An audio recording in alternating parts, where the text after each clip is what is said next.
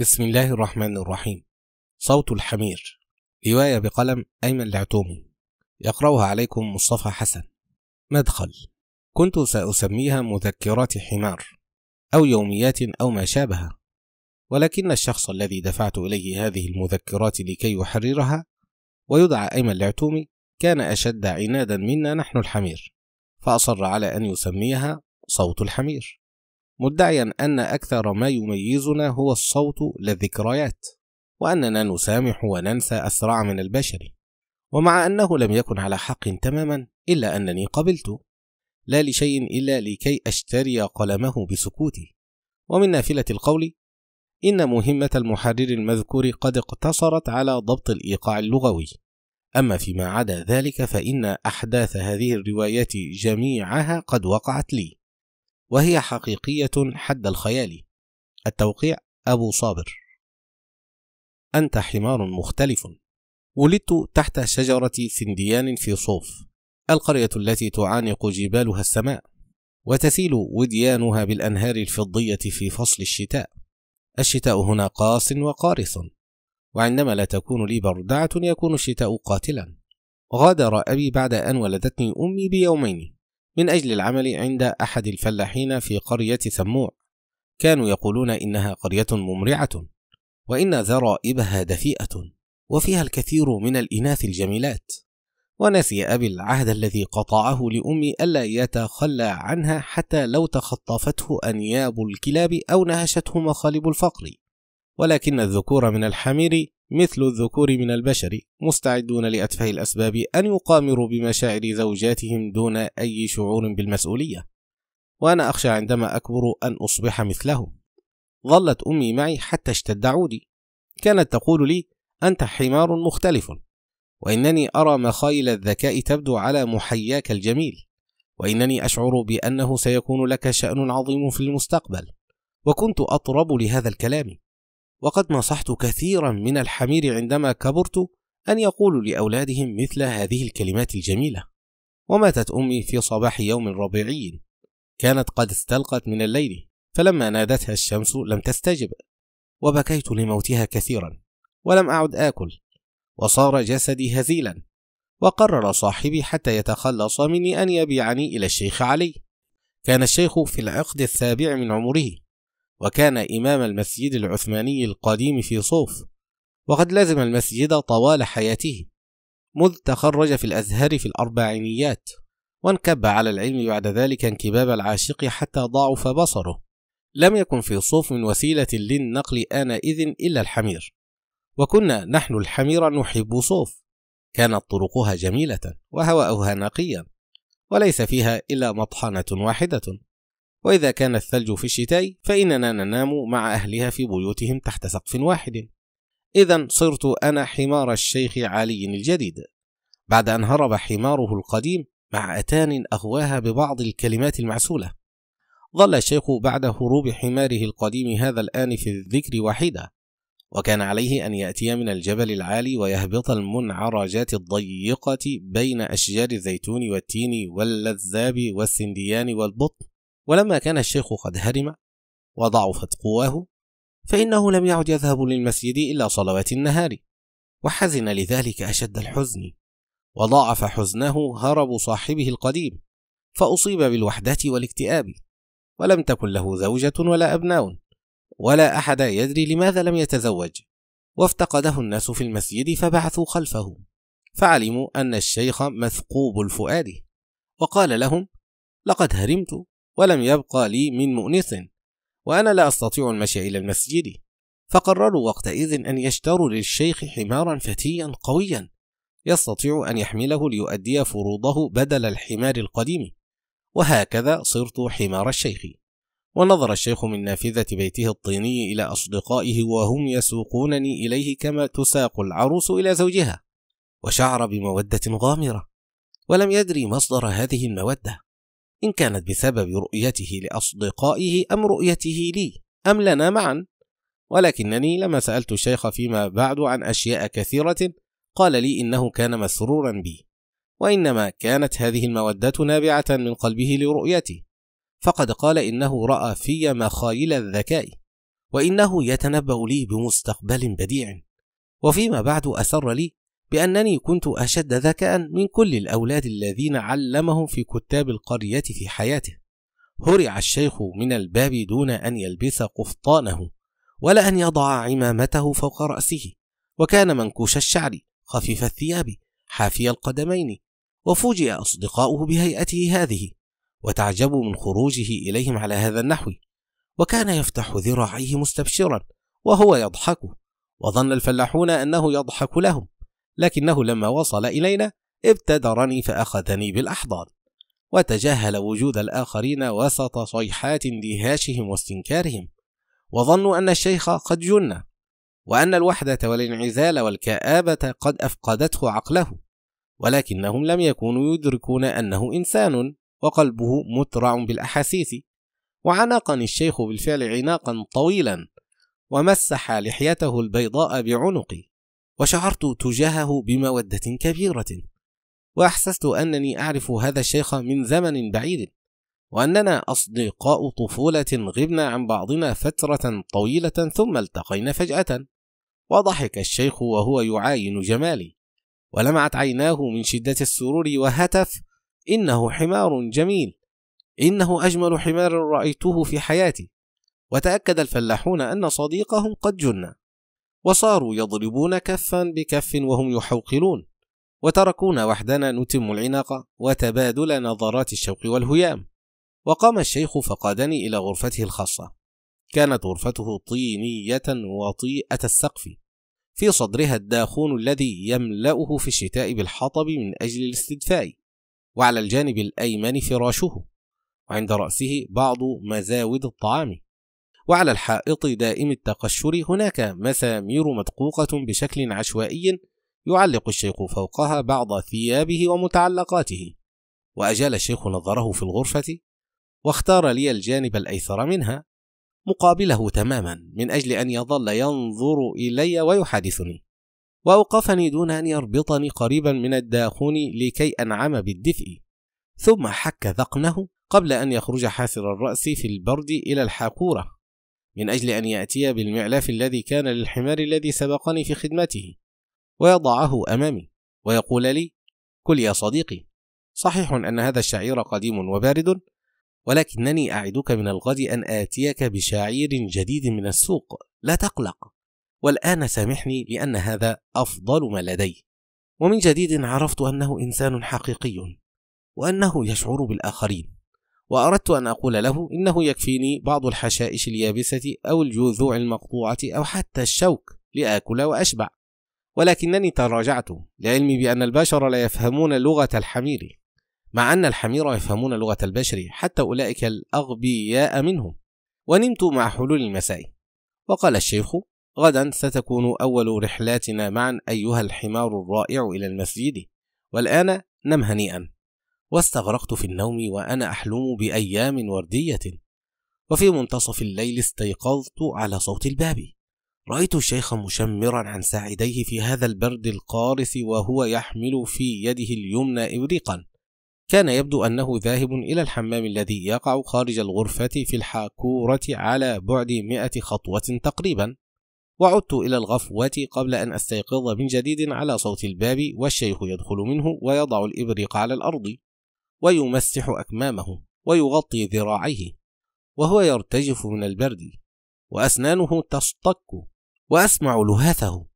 وقام الشيخ عن يميني متوجها إلى القبلة وفهمت أنه يريد أن يقوم الليلة وقرأ الشيخ علي الفاتحة ولم أسمعها من قبل من صاحب السابق.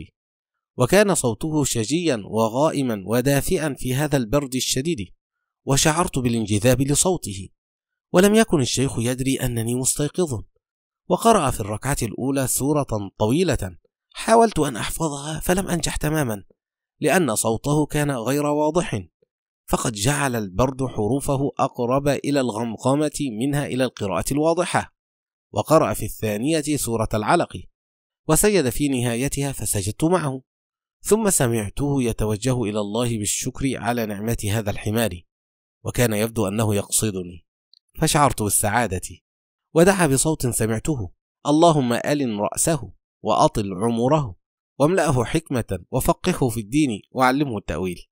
ولم أكن أدري إن كان يعنيني بهذا الدعاء أم يعني أحدا آخر. ثم نام ونمت. واستيقظ الشيخ على أذان الفجر. واقترب مني وناداني بصوت حنون. قم يا صديقي إن الله ينادينا. وشعرت بالفعل أن الله ينادينا. ووقفت على أقدامي. ولبس الشيخ جبته الكحلية وعمامته البيضاء الملتفة حول الطربوش الأحمر الذي لا يبدو منه إلا الجزء الأخير. وذللت ظهري للشيخ فركبني بسهولة وهو يقول حمار مطيع زادك الله من فضله يا صديقي. وأخذت الشيخ وكان الجو في الخارج يجرح الخد بالسكين لشدة البرد. كان الضباب قد نزل حتى لامس الأرض وتخلل أغصان الأشجار. فصارت تبدو وتختفي وسيول صغيرة من الماء تسير بين الحصى فتصدر صليلا لذيذا. ورأيت بعض الفلاحين ثلاثة أو أربعة يلفون شماغاتهم على رؤوسهم اتقاء البرد ويضعون أيديهم في جيوبهم ويلبسون حزما طويلة وهم يحثون الخطى إلى المسجد. وسمعت بعضهم هذا حمار الشيخ الجديد. أرجو ألا يكون سببا في غياب الشيخ عن المسجد كما فعل حماره السابق. ماذا فعل حماره السابق؟ لقد هرب. ولكن لماذا؟ لأنه حمار. وشعرت بالكراهية الطافحة من قلوب هؤلاء الفلاحين. وتعجبت. كيف يذهبون إلى الله وهم يؤذون خلقه؟ ووقفت عند باب المسجد حيث كانت هناك مصطبة ترتفع عن الأرض قليلا عن يمين الباب. وكان على هذه المصطبة تابوت يحمل فيه الميت إلى داخل المسجد ليصلى عليه. وأمام المصطبة طاولة يغسل عليها الميت. وسأشهد مشاهد عديدة من تغسيل الموت فيما بعد مع تكرار حضوري إلى هنا. وكان الشيخ كلما دخل إلى المسجد أو خرج منه أطال النظر إلى التابوت. وهز رأسه وهو يغمغم ما نجا من النوم فيك أحد. وأما المصلين وشعرت من جديد بأن الرحمة تتنزل من هذه الكلمات التي يتلوها الشيخ. لم يكن يصلي في المسجد أكثر من عشرة مصلين. أكثرهم كانوا من الذين تجاوزوا الخمسين أو الستين من أعمارهم. وتساءلت أين شباب القرية؟ وجلس الشيخ في المسجد يتلو بعد الصلاة ما كان يحفظ ويستظهره. وظل يقرأ حتى شممت رائحة الشمس قادمة من المشرق. حينئذ قام الشيخ فصلى. ثم دعا. كنت أسمعه. ثم قام إلى المكتبة التي تملأ واجهة القبلة كلها عن يمين المحراب ويساره فأخذ كتابا لم أكن أعرف ما هو وبدأ يقرأ منه بصوت عال. وكنت ما زلت يومئذ في أول شبابي. كنت أحفظ النص بمجرد سماعه من المرة الأولى. وهكذا حفظت على الشيخ أكثر من ألفي كتاب ورسالة خلال ما يزيد عن عشرين سنة. هي مدة صحبتي له وكان فكها في كثير من الأحيان ولكنه كان بذيئا في بعض الأحيان بذيئا جدا وأطلعني على أسرار لم يطلع عليها أحدا من قبله ولما فرغ الشيخ في ذلك اليوم ذرع وحده بهو المسجد حتى إذا صار بقربي ربت على عنقي واعتذر مني قائلا سامحني لقد تأخرت عليك. ثم صعد المصطبة وركبني بسهولة وانطلقت به فرحا إلى البيت. كيف لي أن أطلب ما ليس لي؟ وصلنا إلى قرية عبين. كان ذلك في شهر كانون الأول. حمل الشيخ علي معه كتابا في الأخلاق لزهرة بن سعد. كان في الطريق يراجع ما سيقوله بصوت عال فحفظت كل ما قال. عرفت أن ابن سعد هذا كاتب ممتاز لغته عجبتني على الأقل ليس فيها التقعر الذي عند الشيوخ الآخرين. وعلمت أن الشيخ سيتحدث في المسجد عن الأمانة. هناك طريق واحد تربط بين صوف وعبين. تقدمنا باتجاه القرية حالما عدنا من صلاة الفجر في مسجد صوف القديم وقرأ الشيخ بعض الآيات وصلى الضحى وأفطرت أنا على الشعير الجديد الذي أحضره الشيخ من سوق القرية ليلة أمس بعد أن وعدني به. كانت الشمس ما تزال على ضحكتها الأولى والأرض باردة. وضوء الشمس لا يبعث شيئا من الدفء. وانطلقنا بين الأشجار. كان الندى لا يزال في فم الأوراق يسقيها ماءه ويرطبها. والعشب الذي في الطريق كان يلمع ناداه فينعكس مع ضوء الشمس على عيوننا فتعشى. ولولا أنني قوي البصر حاد النظر لأثر ذلك الانعكاس علي كما أثر على الشيخ. لم يجف الطين تماما من شتاء الأسبوع الفائت. قرآن في الشمال كما حدثني الشيخ وأنا أعلم بهذا الحديث منه. يحبها الماء كثيرا فلا تبرح تفيض به. شممنا رائحة الصباح ورائحة الندى ورائحة البطن. روائح كثيرة ذكمت أنوفنا روائح ساحرة. الورد يزهر مبكرا هذا العام. إنه يخدع الربيع باستيقاظه المبكر في الشتاء. لكن الشيخ صححني. هناك ورود تستيقظ في الشتاء أيضا. كان يوم جمعة. بعض الأولاد كانوا يقفزون كالقرود في ملعب القرية والطين يغطي ملابثهم لم أدري لماذا لم ينعموا بالنوم والدفء في يوم عطلة كهذا لكن الدنيا كانت تضحك في ضحكاتهم وتلعب في لعبهم وتتراقص كما يتراقصون. حدثت نفسي ماذا عرفتم من الدنيا أيها الصغار؟ غدا ستكبرون وستعرفونها على الحقيقة إنها أفعى. ملمس لين وسم شديد. وشعرت أنني عجوز حكيم قد عجم الدهر عوده جيدا. وقفزت الكرة من الملعب وضربت رأس الشيخ فآلمته ألما شديدا. وشعر أن الأرض تميد به. وأطارت الكرة العمامة عن رأسه لولا أنه تداركها بيمناه. وغضب الشيخ وضحك الأولاد. وإذ ذاك نظر إليهم محنقا. وصرخ انتبهوا أيها الأشقياء هل أنتم حمير؟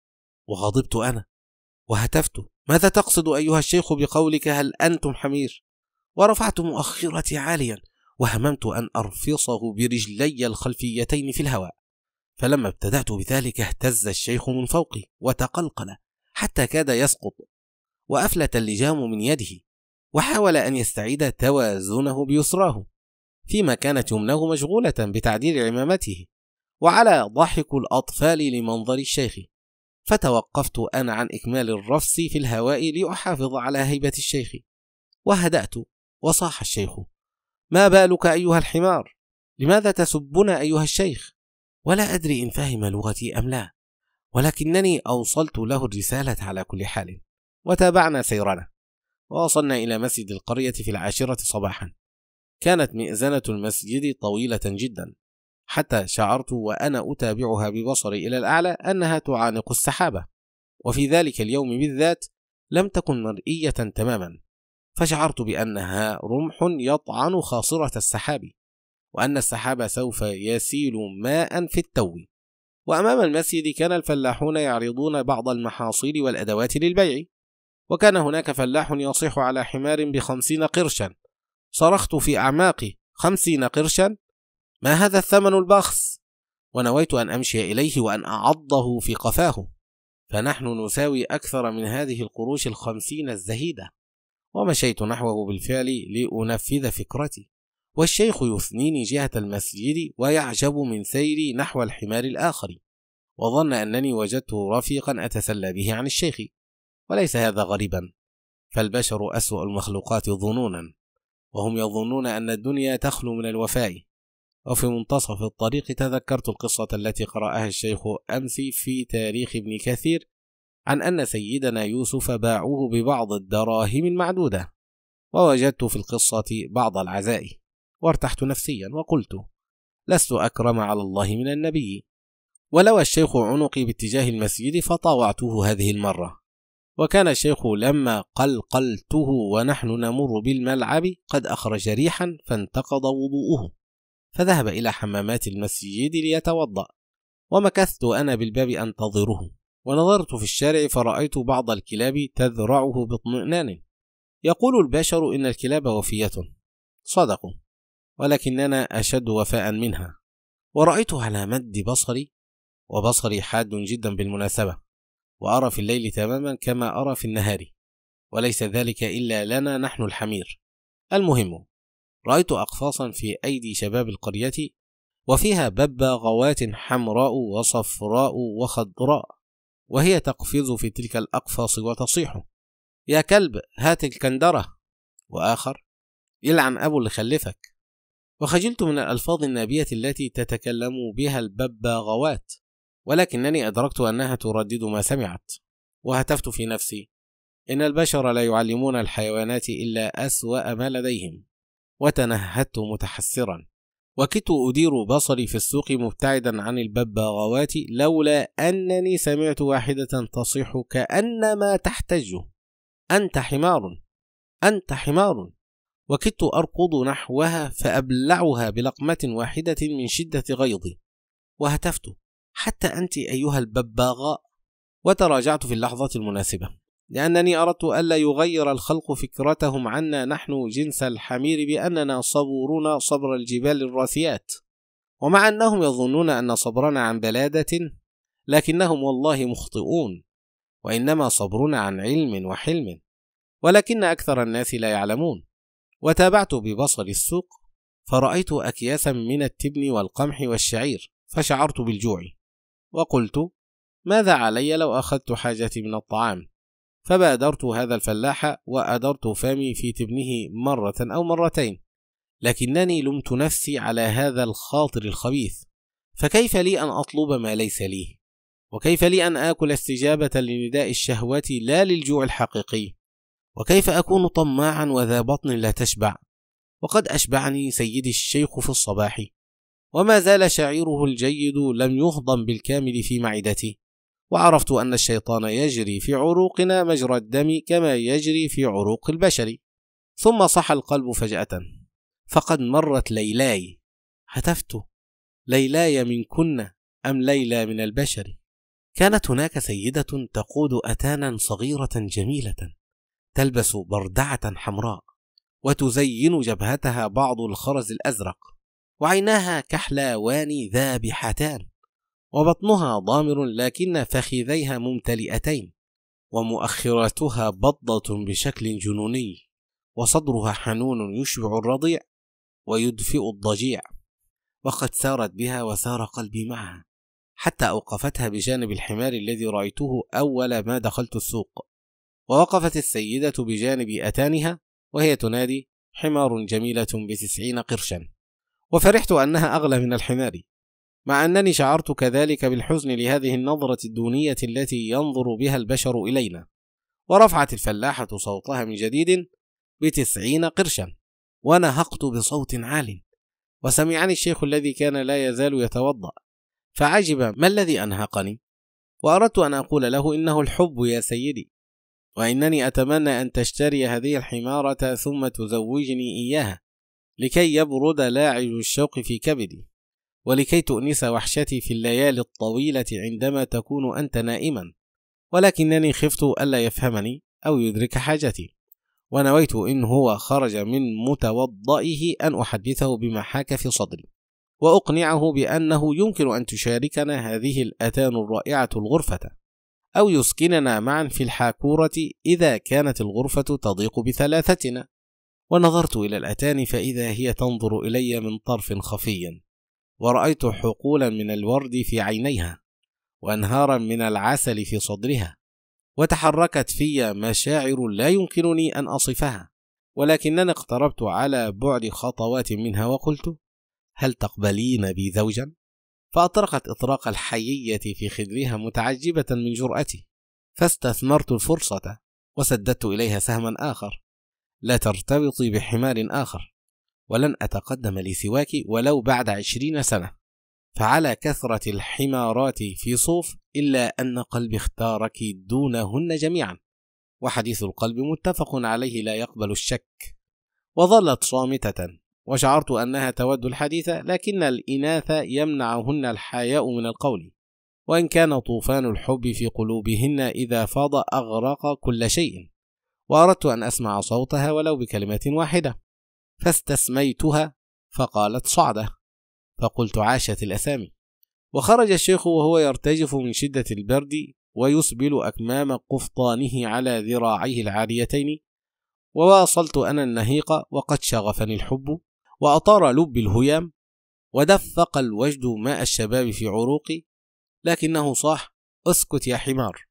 إنك تؤذي المصلين الوافدين إلى المسجد بصوتك. وشعرت بالإهانة وأردت أن أقبض بفمي على كم الشيخ وأسوقه إلى المسجد لينظر بنفسه ويكتشف أنه لا أحد فيه البتة وأن الناس كلهم في السوق وأن الناس ترهف سمعها إلى نداءات الباعة لا إلى نداءات الله. وهممت أن أقول إن جعير هؤلاء الفلاحين أسوأ بكثير من صوت الحنون.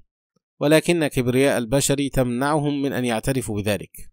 وقطع الشيخ بتفكيره السلبي هذا الخيط علي أن أخبره بالأتان الجميلة وما أحدثته من كسر في قلبي. فصرفت النظر عن الموضوع وأنا في غاية الحزن.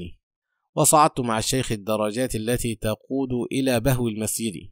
وكان الشيخ بالفعل وحده وانتظر وقتا طويلا حتى يأتي الناس ولكنهم لم يأتوا حتى إذا انتصف النهار ودخل مؤذن المسجد فنادى لصلاة الجمعة.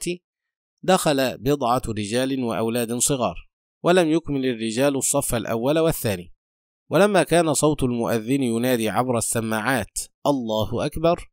كانت أصوات الباعة ما زالت ترن في الشارع ويتردد صداها عليا. الحمار بخمسين قرشا خيشة التبن بعشرين قرشا البباغاء بقرشين وعدنا منكسرين. قال الشيخ أهل القرى دينهم خفيف. وأردت أن أقول له ولكنك من أهل القرى. وأقبل علي الشيخ وهو مكدر الوجه واجبا طويل التفكر. وقد نكث رأسه. فأردت أن أخفف عنه. ولكنني لم أدري كيف سيفهمني. أردت أن أسليه بالغناء. ولكنني خشيت أن ينهرني.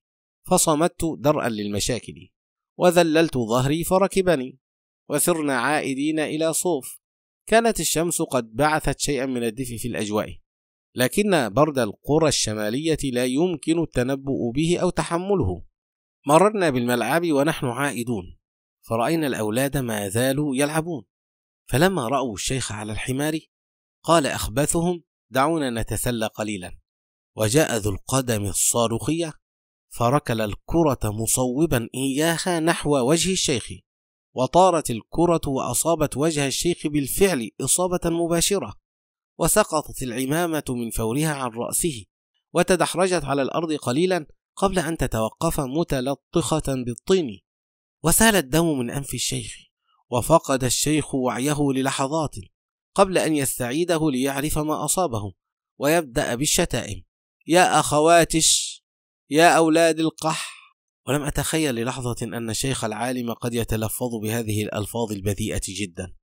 واحمر وجهي من الخجل. وذبت في نفسي. وأطرقت برأسي أفحص الأرض بنظرات زائغة. وأردت أن أقول للشيخ حرام عليك. ولكن سيل الشتائم لم يتوقف. ينعل أبو اللي بذركم يا أولاد ال... وكان كلما على صوت الشيخ بالشتائم على صوت الأولاد بالضحك والهياج. وأسرعت بالشيخ مبتعدا عن الأولاد من أجل أن أوقف سيل الشتائم المخجل هذا. وركضت. فإذا الشيخ يصيح وأنت يا ابن الحرام إلى أين تركض بي؟ فهممت أن أرفص برجلي وألقي بالشيخ بعيدا على الأرض حتى تندق عنقه. ولكنني تراجعت في الحال لكي يعرف أنني صبور حليم ولست مثله. ومضيت أركض ثانية. وإذا بالشيخ يصرخ العمامة يا حمار! وقلت آه صحيح. وعدت إلى موضع الإمامة فالتقطتها بأسناني ورفعت رأسي بها إلى الشيخ فتعجب مني كل التعجب. وكانت هذه العلامة الثانية على أنني أفهم لغته ولكن الأهم متى سيفهم هو لغتي؟ ومسح الشيخ الطين عن عمامته البيضاء التي تلوثت والدم الذي سال من أنفه وكاد يبكي من القهر ولكنه حبس دموعه. ومضينا قافلين إلى سوف وسوف يومئذ تجري من تحتها الأنهار. نحن نتبع الرائحة التي لا تضل. من يعرف منكم كيف أبدو؟ أن لكم أن تعرفوا. التفكر في خلق الله وبديع صنعه لا يدخل في دائرة اهتمامكم أيها البشر. على أي حال أنا وأستغفر الله من أن أذل أو أضل عيناي وردتان من السوسن البري تريان في الظلام تماما كما تريان في النور. وقائمتاي الأماميتان مستقيمتان كجذع شجرة وصلبتان كرمح. يخفي صلابتهما وبر الرماضي الخفيف. أما قائمتاي الخلفيتان فتبدأان بالانحناء بعد الركبة. ليكون كفلي مقوسا لا يزل عن متنه الراكب. وذيلي طويل في آخره ذنبة من الشعر أهش بها كلما لزم الأمر. وأذناي طويلتان بهما أسمع ما لا يسمع البشر وأحس بهما الأنواء وأشعر من خلالهما بالأمطار قبل أن تسقط. وأميز صوت النملة إن كانت تدب على الصخرة الملساء أو على الورقة العجفاء ولي بهما أكثر من عشرين حركة. من يعرفني يعرف كل حركة منها ما تعني. فإذا رفعتهما إلى الأعلى وضممتهما فأنا سعيد وأسمع خبرا جميلا. وإذا فرقت بينهما فأنا منزعج أما إذا تهدلت على جانبي عنقي فمعناه أنني حزين ولا داعي للشرح أكثر من ذلك. أما منخرايا فواسعان ينفر منهما بعض الشعارات الطويلة البيضاء. ولطالما نظفت بهما الأرض للشيخ بزفير شديد ولطالما أوقدت بهما نار الدخون إذا خبت وهما فتحتان أستطيع أن أوسعهما عند الحاجة فتصبحان قادرتين على ابتلاع كرة صغيرة أما أسناني فهي صفراء ولربما تشبه حبات الفول الكبيرة وأما رموشي فطويلة خلقة من الله لا بالتصنع ولا بالتمكيج وأما ظهري فهو منخفض عند الظهر مرتفع عند العنق والكفل كأنما ذلل فيما طلبه الله منا بأن نكون مركبا وطيئا لبني البشر وليت البشر يقدرون نعمة الله عليهم كما قدرنا نحن ما كتب علينا من أجلهم فرضينا وأنا أقمر وعنقي غليظة ملساء رمادية ليس عليها شعر يرى إلا ما كان في العرف. حيث يتدلى شعر العرف على يمين عنقي بدلال. وأما بطني فضخمة في الفترة التي قضيتها عند الشيخ فقد كان يعتني بي جيدا. وأما جبهتي فواسعة. ومن فضول كلامي أن أقول إن ذوي الجبهات الواسعة يملكون قدرا من الذكاء والحنكة أكثر من غيرهم. وأما شفاهي فغليظة رطوة دائما. وطالما ساعدتني على ترطيب الحشائش اليابسة والأشواك تمهيدا لأكلها في حالات الجوع الشديدة التي كنت أمر بها في بعض فترات حياتي. وأما حوافري فصلبة. لم توقفها صخور الجبال ولا وعورة الطرق ولا حجارة الوديان ولم تحتج إلا في حالات نادرة إلى حدوات. يثبتها بيطار القرية أسفل حوافري وأنا أخطب. يرتسم أسفل عنقي وشاح أسود باهر يمتد كقوس على أول ظهري فيعطي تدرجا مذهلا للون الرمادي الذي يغلب على جسدي كافة. قرر الشيخ علي بعد أن فشل في مهمته الرساليات في عبين أن يجرب حظه مع قرية أخرى فتوجهنا بعد أسبوع أو عشرة أيام إلى راسون. ما أجمل القرى الشمالية وما أشد برودتها؟ هتفت وأنا أعلم أن رحلتنا ستكون ممتعة ومتعبة. قلت لو قرأ علي الشيخ في الطريق من بعض الكتب التي معه فسيكون بذلك قد خفف علي قليلا من وجع الرحلة. وبدأ أن التفاهم بيننا قد بدأ. حين خاطبني هل هذا الشعير جيد؟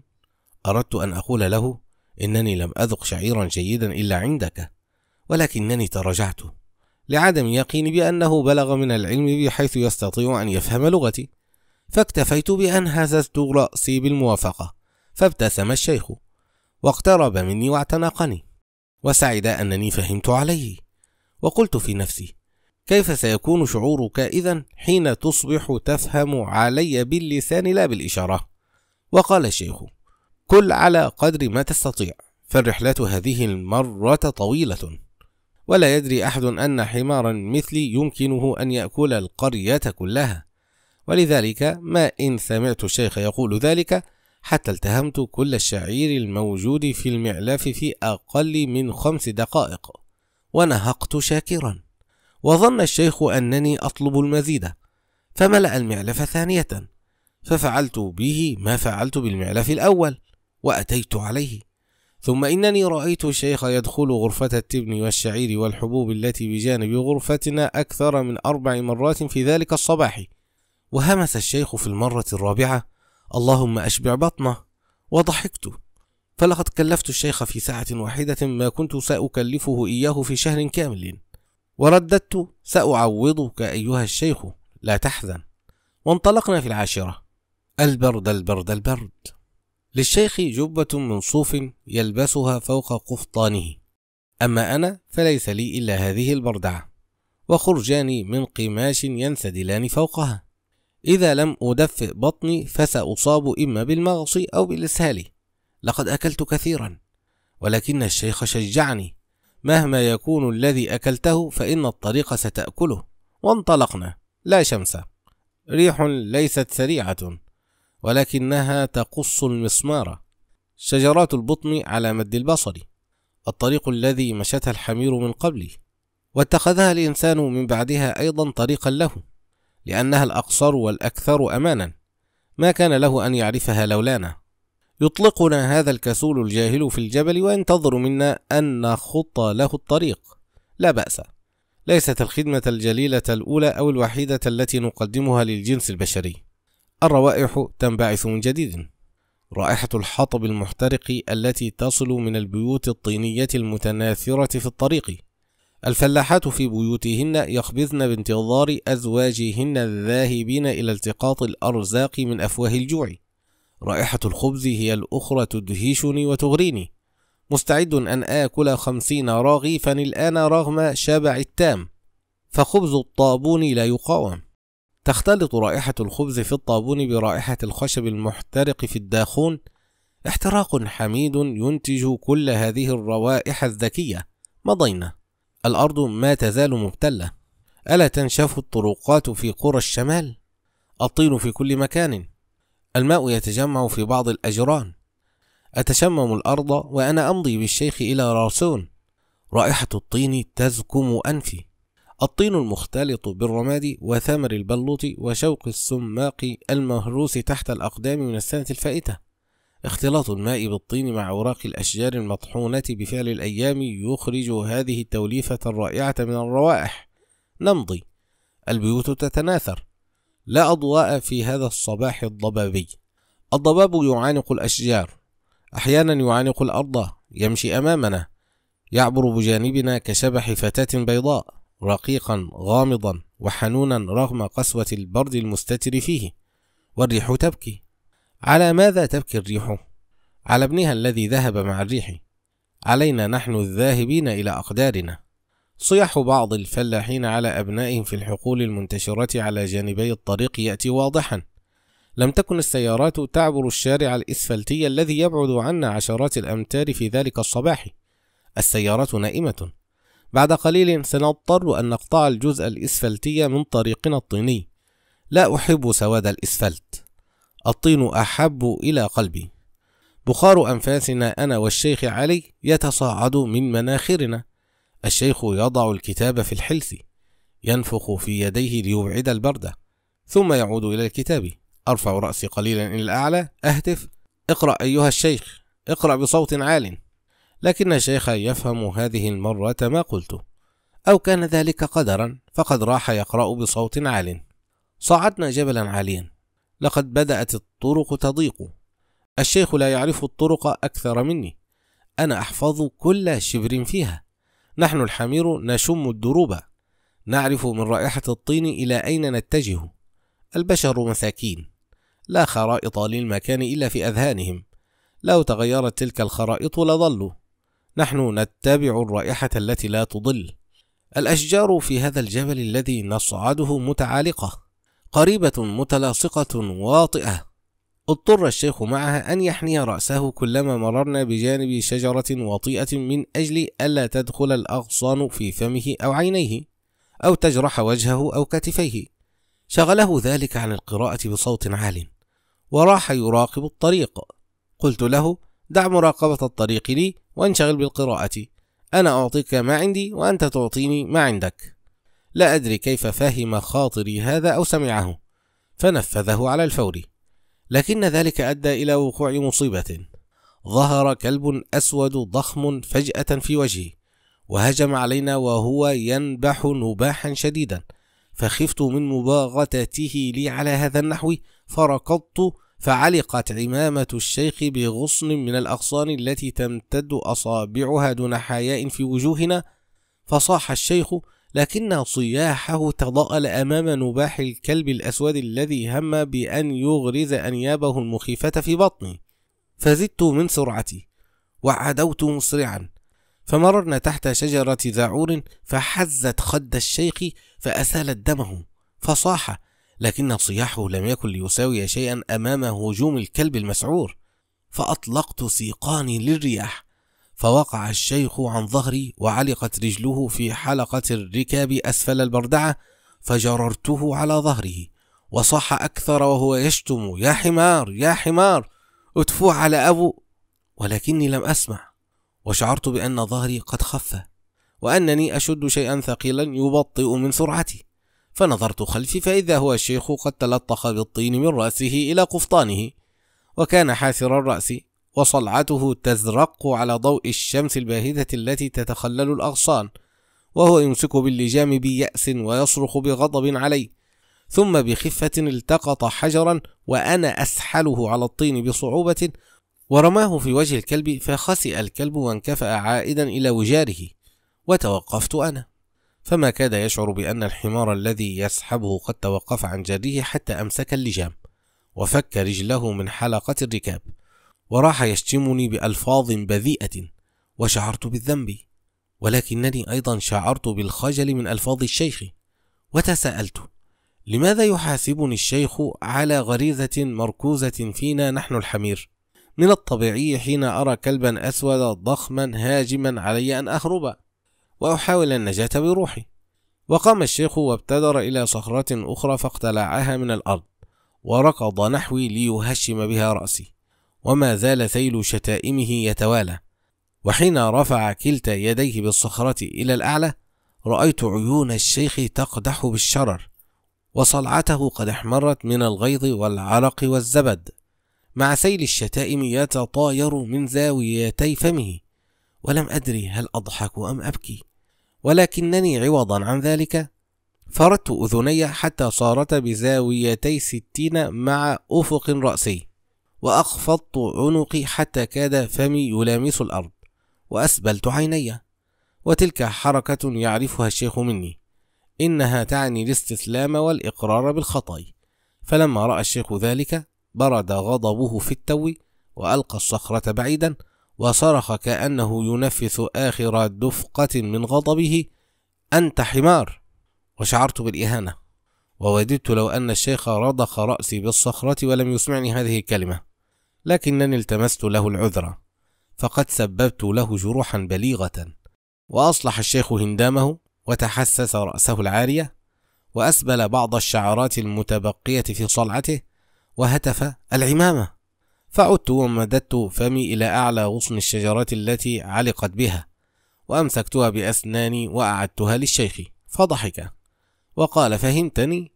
فضحكت وقلت له لقد نسيت الكتاب أيضا فلم يفهم. وصبرت نفسي. سيفهم قريبا بلا شك. إما أن يلتقي البشر إلى لغتنا فيتعلموها أو نتعلم نحن لغتهم وأنا ماض دون إبطاء في تعلم لغة البشر. وقريبا سأخاطب الشيخ بلغته. إن عجز أن يخاطبني بلغتي. وركبني الشيخ وحثني حين همز بطني بقدميه. فلم أتقدم خطوة واحدة وهتفت. الكتاب يا شيخ.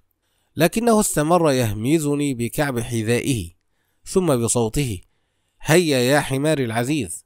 ثم بعصا كسرها من غصن شجرة ولما يئست من فهمه درت بنفسي إلى الخلف فتعجب الشيخ وأراد أن يبدأ سيل شتائمه المعتاد فلم أمهله وانطلقت أبحث عن الكتاب فتراءى لي من بعيد وكنا قد فقدناه في أول نبحة للكلب الأسود والتقطت الكتاب من الأرض بشفاه مترفقا به ورفعت به رأسي إلى الشيخ فزاد تعجبه مني ومضينا إلى راسون.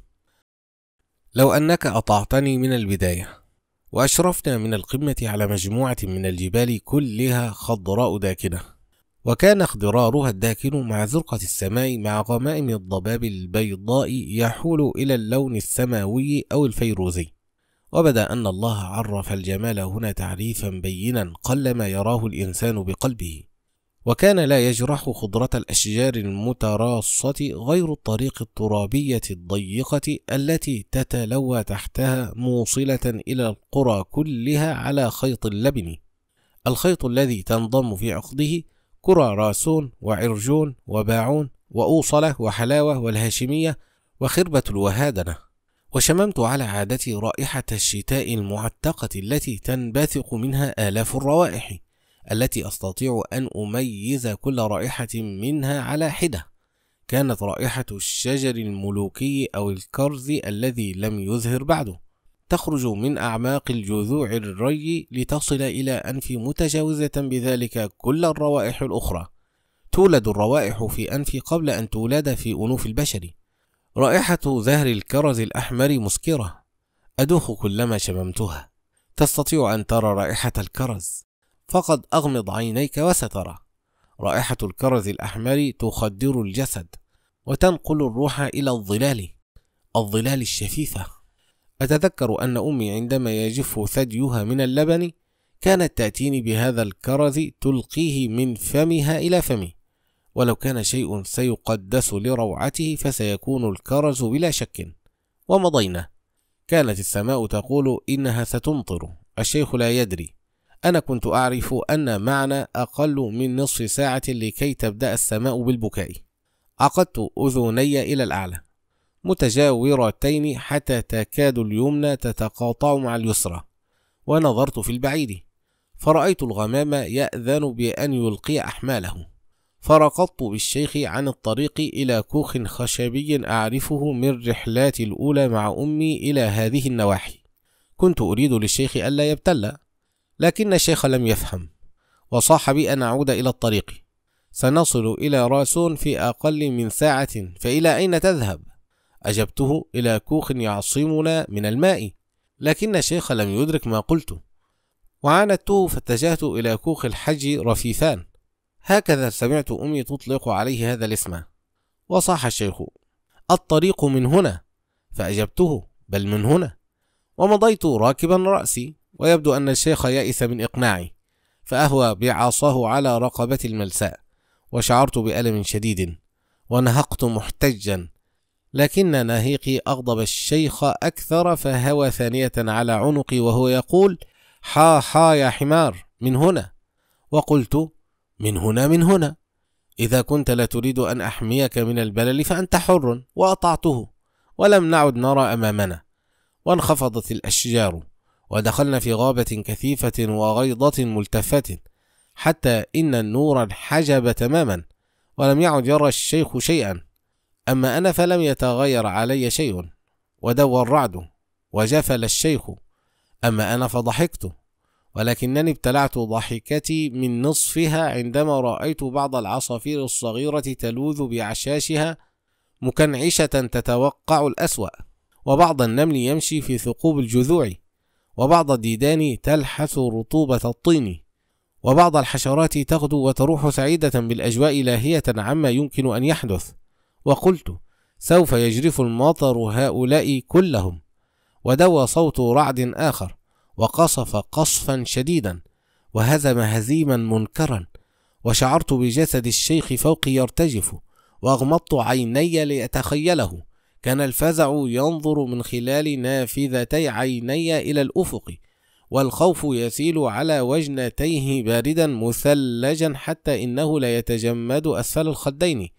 وعصفور قلبه في قفص صدره راجف مخروع كأنه أصيب بضغطة القبر. وسمعت جناحيه يرفرفان ألف مرة في الثانية. وهوى الشيخ من الخوف بالعصا على رقبتي وهو يحثني على المسير. أسرع حتى نفلت من المطر ولكنه كان يسوقنا إلى حتفنا ولم أشأ أن أنال مزيدا من العصا فطاوعته وهتفت. الجاهل يسوق نفسه لتتردى في الحفر وألقت السماء أثقالها وانصب المطر انصبابا وفتح السحاب أبوابه فهوى بكل ما فيه وأسبغ المطر على الشيخ سرباله فابتل من أول دفقة وتوحوح الشيخ وابتلت كل ثيابه. وشربت عمامته الماء شربا وخضها حتى أثقلها وسال منها إلى رأس الشيخ ودخل الماء إلى جسده وشعر الشيخ بالماء يتسلل إلى أعضائه ويبللها وصاح يا رب يا رب. ورقدت بالشيخ عائدا إلى كوخ الحاج رفيفان ولم يقاومني هذه المرة. وكان مشغولا باتقاء المطر الذي لم يرحمنا بيديه كأنهما تنفعان وابتل ظهري أنا. وثقل الشيخ والحلس والخرج فوقه وشكل المطر مع الطين أرضا لازجة فكدت أتعثر وأنا أهملج بالشيخ إلى الكوخ وسال الماء على بطني خطوطا متعرجة سريعة كثيفة وشربت أوراق الكتب الأربعة التي كان يحملها الشيخ الماء فتداخلت حروفها وطريت أوراقها والتصق بعضها ببعض ولم يعد ممكنا فتحها فأوقفني الشيخ ونزل مسرعا إلى شجرة قريبة ورفع حجرا إلى حجر وجعل ظهر أحد الحجرين إلى اتجاه المطر حتى يقي الكتب منه. ثم أودعها تحته على أمل أن يعود إليها إذا طلعت الشمس وجففتها ولو بعد حين. وكان الشيخ يجر نفسه جرا. فقد صار وزنه ضعفي وزنه الطبيعي لتبلل جسده وثيابه كلها بالماء. وكنت أنظر إليه وأشعر بالتشفي وأهتف لو أنك أطعتني من البداية لما حدث كل هذا. ولكن غرور الإنسان مؤمن ويحجب عنه الحقيقة. يظن أنه الوحيد الذي يعرف كل شيء وهو أجهل المخلوقات وأنه يحتكر المعرفة وهو أبعدها عنها. وهتفت تستاهل. هذه نتيجة العناد والتكبر. ومضينا مسرعين ومن بعيد كان منظر الدخان المتصاعد من داخون كوخ الحاج رفيفان يبعث شعورا بالدفء والأمان. وهرعنا إليه واستقبلنا على الباب وهتف. الشيخ علي وعانقه فابتل بالماء في لحظات. هل تعرفني؟ سمعت أحد دروسك ذات مرة في مسجد الصوف القديم. ادخل ادخل. وخلع الشيخ كل ثيابه وبدا عاريا تماما.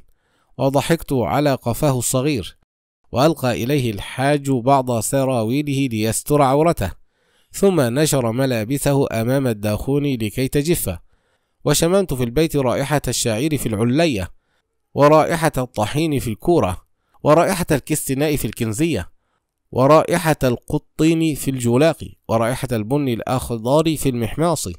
ورائحة الخبيصة المحلاة بالقريش في البكسات المركوزات عند النملية ورائحة اللبن الخاثر في الشكوى ورائحة الخبز البائت في النافذة ورائحة روث الدجاج في القن وعشرات الروائح الأخرى. وأخذت كل رائحة منها مكانها الذي لا تزاحمه رائحة أخرى في دماغي. وقام الحاج إلى كنزية الكستناء فملأ المحماس بكمشة منه. ومده إلى الداخون فشواه وتصاعدت رائحة الكستناء مع رائحة بقايا البن في المحماس فانجدلت الرائحتان وكانتا شهيتين بالمقدار الذي أسال لعابي طويلا قبل أن أحظى ببعض تلك الحبات الساخنة فآكلها بشهية كبيرة. وقال الحاج نم يا شيخ أنت وحمارك الليلة عندي وغدا تبلغ راسون وغيرها. وقبل الشيخ دون تردد وفي الليلة قام الشيخ فصلى وقرأ سورة يوسف وبكيت أنا وأنا أسمع السورة منه أكثر من ثلاثين مرة وكنت أبكي براحتي لأنه لا أحد يراني في الظلام وكنت مع كل موقف أبكي فيه أنظر من خلال دموع الغزيرة إلى الشيخ فلا أرى عليه أي علامة من علامات التأثر. وقال الحاج للشيخ بعد أن أفطرنا لبنا وخبزا طازجا صنعه الحاج بنفسه رافقتك السلامة. ونهقته قل رافقتكم السلامة. ومضينا في الطريق. الطين في كل مكان. ولكن السماء كانت قد كفت عن البكاء والسحب تحلق عاليا. وشقشقات العصافير مسموعة من بعيد. وعبرنا طرقا قديمة. عبرنا بئر الداية وطريق الرومان المرصوف. وسمعت أصوات آبائي وأجدادي تخترق الأزمنة السحيقة وتصعد من الآبار وتملأ أذني. ووصلنا إلى راسون مع الظهر ودخلنا المسجد وصلى ببعض الناس وقرأ عليهم قصة محمد بن هشام بن عبد الملك الذي طلب من والي راسون في العصر الأموي أن يتركها ليذهب إلى مصر التي هي يومئذ أكبر البلدان وأهمها. ففضل واليه راسون مع صغارها على مصر كلها وعاتب الأمير ببيت من الشعر قال فيه أترك لي مصر لرأسون حسرة ستعلم يوما أي بيعيك أربح وسر الناس بحديث الشيخ وسررت أنا وحفظت كل ما قال. وكان الشيخ يدرس من عقله إذ إن كتبه الأربعة ظلت خلف الحجرين تحت تلك الشجرة. وقبل أن نمضي من راسون حمل الشيخ معه من مكتبة مسجدها عددا آخر من الكتب دون أن يستأذن أحدا قائلا المعرفة للجميع. ومضينا صاعدين جبل الخسفة. وقبل أن نفعل شعرنا بالعطش. فمال الشيخ وملت معه إلى عين راسون. ونزل الشيخ من فوق ظهري يركض نحوها مبتهجا وسابقته إلى العين ووصلت إليها قبله. فجثوت على ركبتي وجثى الشيخ على ركبتيه. وأدنيت رأسي من الماء وأدنى هو كذلك رأسه. وبدأ عنقه مع جذعه مثل عنقي. والتفت نحوه فندت مني ضحكة مرحة لقد كان الشيخ يشبهني تماما. كانت العين صافية تماما. وعلى مرآتها النقية ارتسمت لوحة السماء بكل تفاصيلها. ولما نفخت في الماء ترجرجت الصورة فساحت لوحة السماء. وتراقصت في الماء حتى أحسست بأن الشمس اللطيفة تداعب ظهورنا. وغطسنا فوهينا في الماء وشربنا معا من العين متلذذين. وقلت له هنيئا فلم يرد لقد أصابته سكتة. لم يكن يدرك أنني مع طول عشرتي له صرت أتحدث بلغته. وهتف أنت تجيد العربية؟ فرفعت رأسي عاليا وضحكت. وهل تظن نفسك الوحيد الذي يجيدها؟ إن العربية مشاع للعاشقين وأنا من عشاقها يا سيدي. فضحك وقال جميل يا حمار العربية. ثم صعدنا الجبل وبدت من بعيد أشجار برقش. وحل علينا المساء. ومن خلف الجبال الشاهقة كانت الشمس الخفيفة ترحل وكان الغروب أرجوانيا والأفق مرآة يسيل فوقها دم في كل مكان. والهواء ينقل رائحة أشجار الصنوبر القادمة مع النسيم من برقش وصبغ الغروب السماء بلونه القرمزي فشممت رائحة الكرز الأحمر تنعصر من بين أسناني فتسيل على شفاهي ملطخة فمي بالدم. واختلط اللون مع الرائحة وشكل ذلك مزيجا بث في قوة غريبة لمواصلة السير. وبحثنا عن مبيت مع انتشار الظلام الكثيف. وجذبت الشيخ وقلت اتبعني ولم يسمعني. وظل واقفا في الغابات يجول بنظره لعله يرى ضوءا أو دخانا يدل على أن أحدا يقطن في هذه الناحية ولكنه لم يره لأن حدود نظره قصيرة قصيرة جدا. ومعذور بسبب غلائل الظلام الثقيلة. أما أنا فرأيت وخفت أن نقضي الليل في العراء وتهاجمنا الكلاب والذئاب فسرت به رغما عنه إلى مصدر الدخان الذي شممته في الجهة الغربية وكانت أقرب رائحة لخشب يحترق في داخل في تلك المنطقة. واستسلم الشيخ لي ووصلنا إلى البيت مع حلول العشاء وفتحت لنا عجوز هرمة وقلنا لها نحن غرباء. فردت بيتي مفتوح للسالكين. وشعرت بأنها من نسل رابعة العدوية أو عائشة الباعونية. ودخلنا فعشتنا وسقتنا ونمنا في كنف الدفء. حتى إذا كان الغد وانتشر طائر الضوء في الأفق استأذناها في المغادرة وشكرناها على حسن الضيافة. ومضينا إلى غايتنا وما أبعد الغاية للسالك إذا كانت النفوس كبارا الشيخ يهرمه الشتاء. ومررنا على تجاويف منحوتة في الصخر وأبواب مقدودة زواياها متقنة كأن مهندسا أو فنانا قام بنحتها ودرج مقطوع فيه كأنه عمل الليلة. وعرفت أنها كهوف الرهبان كانوا يأوون إلى هنا هربا من طغيان البشر وما ضرهم لو صادقوا الوحوش بدلا منهم. ولم يدري الشيخ فيما عملت هذه المغر الخاوية. وعنا بباله أن يدخل فيراها فلوى عناني فأطعته وكانت جدران المغر سميكة جدا ولما دخلناها لم يرى فيها الشيخ شيئا يستحق ولكنني رأيت طيوف الغابرين وأرواح النساك والزهاد الذين عمروها وتلوا فيها الصلوات وانقطعوا لله يرحمون أرواحهم من خبث ما يصنع البشر وخرجنا مسرعين فقد كان الشيخ ينوي أن يصل إلى كرة عجلون العالية ليبشر في مساجدها وأسواقها وخرجنا من الغابات إلى الإسفلت ونحن نتجه جنوبا لنبلغ القلعة ومررنا في الطريق بفجال يعرض بضاعته على جانب الطريق فوق بسطة خشبية وكان اللون الوردي للفجل مغريا والزهرة البيضاء جذابة والجرجير الأخضر ذابحا وكان المطر يهطل خفيفا.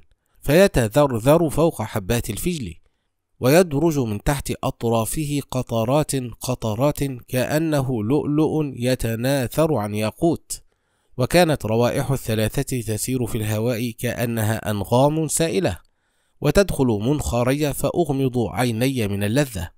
وقلت لو قضمت قليلا من الفجل فلن أضر أحدا وهممت بذلك فعلا ومضيت إلى البسطاط. فلوى الشيخ لجامي وقال لي من هنا يا حمار. فاستجبت له تقوى من الله لا خوف من الشيخ. وصعدنا صعدات سامقات كأننا نفر إلى الشاهق من كل شيء. فلما مضى على صعودنا زمن غير قليل سكن الجو في لحظة ساحرة. لم يكن هناك من صوت أبدا. سكن كأن الأرض التي كانت تدور في فلاكها أطفأت محركاتها فلم يعد يسمع إلا الصمت. ونظرت في الأفق فرأيت السحب كأنها ملائكة تصعد إلى السماء وتطوي صحائفها. ونظرت في الآفاق فرأيت السحب كأنها ملائكة تصعد إلى السماء وتطوي صحائفها. وابيض الهواء فعلمت أن الثلج قادم. ونصبت أذني فأيقنت أن العاصفة ستكون شديدة.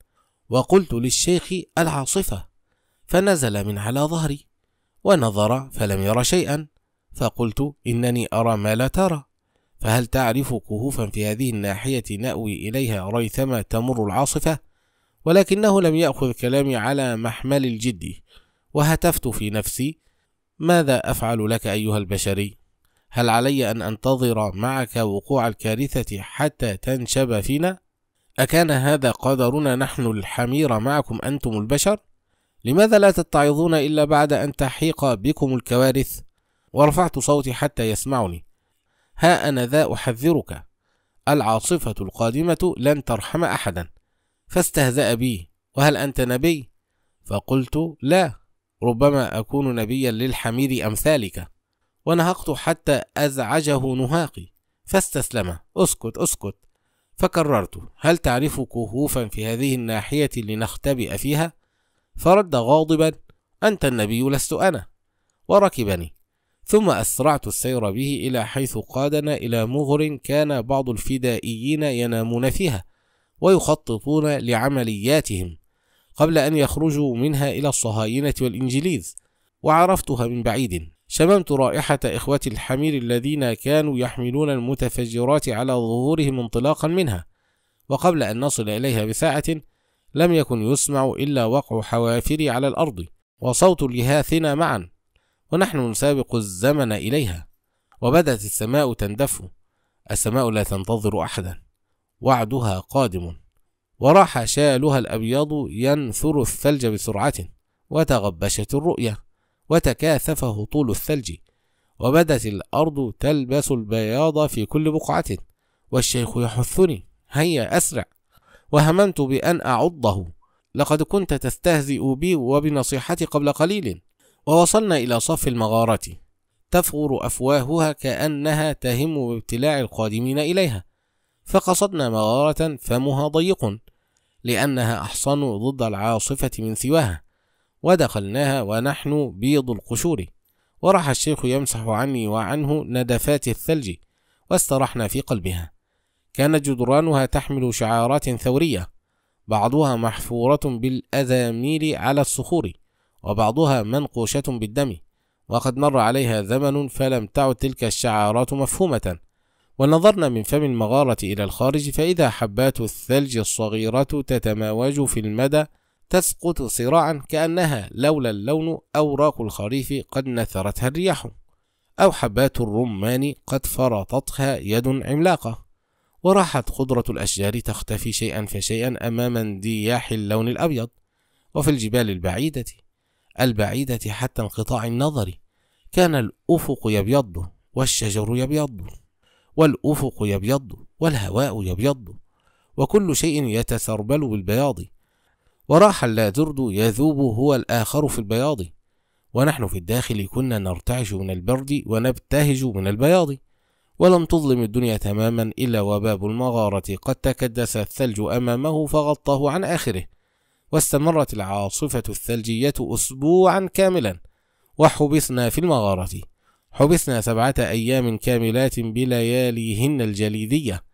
وكان معنا اثنتا عشرة حبة من التمر. ورغيفان من الخبز وخمسة كتب وهذا كل ما كان معنا وقسم الشيخ الطعام على الأيام فأخذ التمر فأكل في اليوم الأول أربع تمرات قسمها اثنتين للفطور وواحدة للغداء والرابعة للعشاء وفعل ذلك في اليومين التاليين وترك لي رغيفي الخبز فقسمتهما بنفسي على الأيام الثلاثة. وظننا أن العاصفة لن تدوم أكثر من ثلاثة أيام على أبعد تقدير. فنحن لسنا في سيبيريا القاسية بل في عجلون الحنونة. ولا أدري كيف فاتني أن أعرف أنها ستستمر أكثر من ذلك. ولكن لكل حمار كبوة ولكل عالم هفوة كما يقولون. وكنت أقدر من الشيخ على احتمال البرد. وقال لي في ليلة اليوم الثاني أنا لا أحس بأصابعي. وكانت في طريقها إلى الموت. فجمعت ما في صدري من هواء حار ورحت أنفخ عليها حتى انحل الدم المتجمد فيها وعاد إليه الشعور بها. وفعلت ذلك أكثر من مرة في الأيام الصعبة التي قضيناها هنا. وسمعت الشيخ في إحدى ليالي الصقيع يهذي وهو نائم بهذه الكلمات إذا كان الشتاء فأدفئوني فإن الشيخ يهرمه الشتاء. وأردت أن أقول له لو كان شتاء لكان هينا ولكنه ثلج وجليد وصقيع. ولم أعد أقوى على الاحتمال فكيف بالشيخ المسكين؟ وأردنا أن نغامر في اليوم الثالث بعد أن نفذ الطعام فنخرج لنجرب حظنا فلم نستطع أن نزحزح الثلج عن باب المغارة بوصة واحدة إذ بدا أن بابها قد سد بجبل كامل من الثلج. في اليوم الرابع بدأ الجوع يهزلنا ورحنا نبحث في زوايا المغارة عن شيء نأكله فما وجدنا إلا التراب وبعض الروث القديم. الذي خلفته حمير الثوار قبلنا وبدأ أن الموت يغازلنا وكان لابد من مقاومته. فقلت للشيخ هلما أحدثك؟ فقال تحدثني؟ فقلت أنا أعلم بالحديث منك. ولم تكن لدى الشيخ طاقة بالجدال فهز رأسه مستسلما. فحدثته حديث الحمير الذين كان الثوار يحملونها بالمتفجرات فتمضي بها عبر هذه الطرق الوعرة. في هذه الجبال إلى مكامن الصهاينة فتنفجر في وسط الكمين فتستشهد وتقتل العدو. وقلت له متفاخرا نحن أقدم الفرق الاستشهادية في العمليات الثورية في التاريخ وهذا الشيخ رأسه متعجبا وأردفته ولكننا لم نكن نحمل المتفجرات فحسب بل كنا نحمل الطعام والغذاء للمقاتلين ونحن حمينا إخواتنا في المقاومة الفلسطينية من الموت مرات عديدة. وأمددناهم بالمعلومات وبالطاقة وبالأمل لكي يستمروا في نضالهم ولولانا ولا فخر ما حققوا عشرا مما حققوه بالفعل. وسر الشيخ وأردفته وسأحدثك بقصة عجيبة بطلها حمر في الحرب العالمية الأولى إن طال الأمد بنا هنا كثيرا. واستوى الشيخ قاعدا وقد تشجع لمعرفة القصة. فقلت له إنك مرهق وسأقصها عليك غدا بإذن الله. والآن نم. فإنك بحاجة إلى الراحة ونفخت على وجهه من رئتي الحارتين وعلى صدره حتى شعر بالدفء والأمان. وبقيت عند رأسه ساعة وأنا أمده بهواء الحار حتى نام. وقبل أن يسقط في بئر النوم كانت عيناه تقولان أشياء كثيرة فهمتها عنه دون أن تتحرك بها شفتاه. في اليوم الخامس كنت آخذ من بعض الثلج المتراكم على باب المغارة فأنفث فيه هواء صدر الحار حتى يذوب قليلا ويتمكن الشيخ من شرب الماء كي أحافظ به على حياته. وكان الشيخ إذا اشتد به سعرة الجوع أخذ طرف كمه أو جانبا من قفطانه فعضه بأسنانه وهو يتأوه. وفقدنا بعض التركيز لشدة الجوع. وبدأنا نهذي فقال الشيخ أنت حمار؟ فقلت أنت إنسان. فرد وهو يضحك ولا يقدر على الضحك سنموت هنا. فأجبته إنه أفضل مكان يمكن أن نموت فيه. لا عدو لا مرض لا سرطان لا وحوش لا كلاب لا ذئاب. فقط معنا الله فما أحسنها من ميتة. ومد يده فمسح اللعاب عن فمه وقربه من شفتيه فلعقه. وقال ما أطيب ريقك؟ وفي اليوم السادس تكومنا على أنفسنا ولف الشيخ قفطانه عليه وانتظر الموت وغط في النوم وهو يحلم به وتذكرت شيئا فقمت إلى الزاوية البعيدة وبحثت عن بعض روث إخوتي من الحمير السابقة فوجدت بقايا قليلة فتناولتها بشفاه وأكلتها وقربت شيئا منها للشيخ فقلت له كل فنظر الشيخ بعيون توشك على الانغلاق وسأل بصوت أقرب إلى الهمس ما هذا؟ إنه روث الحمير التي سكنت هذا المكان من قبلنا واستعاد بعضا من غضبه الفطري وهتف تريد مني أن آكل خراء الحمير؟ فقلت أولا هذه الحمير استثنائية فهي حمير مجاهدة واستشهادية ثانيا روثها غني بالبروتين والحمضيات والفيتامينات ثالثا الموت أم الخراء فأجاب دون تردد بل الخراء. وأكل منه هنيئا مريئا. ومن يدري أن ذلك الخراء كان تعويذة النجاة من الموت. وفي اليوم السابع لم يعد من روث في الزوايا. فقلت للشيخ قرب كتبك الخمسة. فاستغرب. الكتب؟ نعم. وماذا تريد منها؟ هل تريد أن تقرأ لي؟ قربها وستعرف. فقربها. فقلت له اختر منها ما تريد. أختار منها لأي شيء. لكي تأكله. واستنفر واستوحش واستغرب واستفز. فأردفت. صحيح أننا سنصاب بالمغص بسبب الكيماويات في الحبر الموجود فيها ولكن ورقها أمه الخشب والخشب لن نعدم فيها فائدة. وتردد. فقلت إنها خمسة كتب في تصانيف متنوعة فماذا تختار؟ فظل صامتا كأنه حجر. وقلت أما أنا فأختار كتاب الفلسفة ومددت رأسي إليه ورحت أقطعه بأسناني وأزدرده فما مضى وقت قصير حتى كنت قد ابتلعته بالكامل. وأما الشيخ فاختار كتاب العقيدة ففعل ما فعلت ولكنه لم يقوى على أن يأكله كله. وصارت الفلسفة في بطني وصارت العقيدة في بطنه. ومن يومئذ أطلق علي لقب الفيلسوف. فقد كنت قد هضمتها في تلك الليلة بشكل تام. وأما عقيدة الشيخ فقد كانت ناقصة فإنه لم يجرؤ على أن يهضم كل ما في كتابها فأكل بعضه وفرط في بعضه الآخر. وفي اليوم الثامن كنا موتى إلا من خيط رفيع وصحوت قبل الشيخ ونظرت فإذا هو على رقدته لا يحرك ساكنا وأرهفت سمعي فسمعت صوت ماء. فقفز قلبي بين ضلوعي وعرفت أن الشمس أم الحياة عادت لتنقذنا من الموت. كانت أشعتها قد أذابت في الليلة السابقة كثيرا من الثلج واليوم جاءت لتفتح لنا باب المغارة وهرعت إلى ذلك الباب. فبحثت بحوافري فإذا الثلج لين وإذا أكثره في الخارج قد راح يذوب. فأيقظت الشيخ وهتفت به لقد نجونا. ففز بكل ما تبقى فيه من قوة وبقينا أكثر من ساعتين ونحن نفتح لنا طريقا للخروج. وخرجنا فرأينا الكون لم يتغير عليه شيء غير عابئ بأحد ولا مباليا بمخلوق. بيت الرب لكل من أحب. وكانت أقدامنا تغوص في الثلج وهو يتكسر من تحتنا وفرح العصافير فوق الأشجار يبدو في زقزقاتها. وكانت الشمس تقول لنا امضوا فإنه قد كتب لكم حياة جديدة. ومضينا ونحن لا نصدق أننا نجونا بالفعل. ولعبنا بالثلج كالأطفال يوما كاملا. وصادفنا في الطريق فلاحون عابرون فأعطونا طعاما وشرابا. وجادوا علينا بما يكفي لأن ننحبس أسبوعين لو شاء الله لنا ذلك.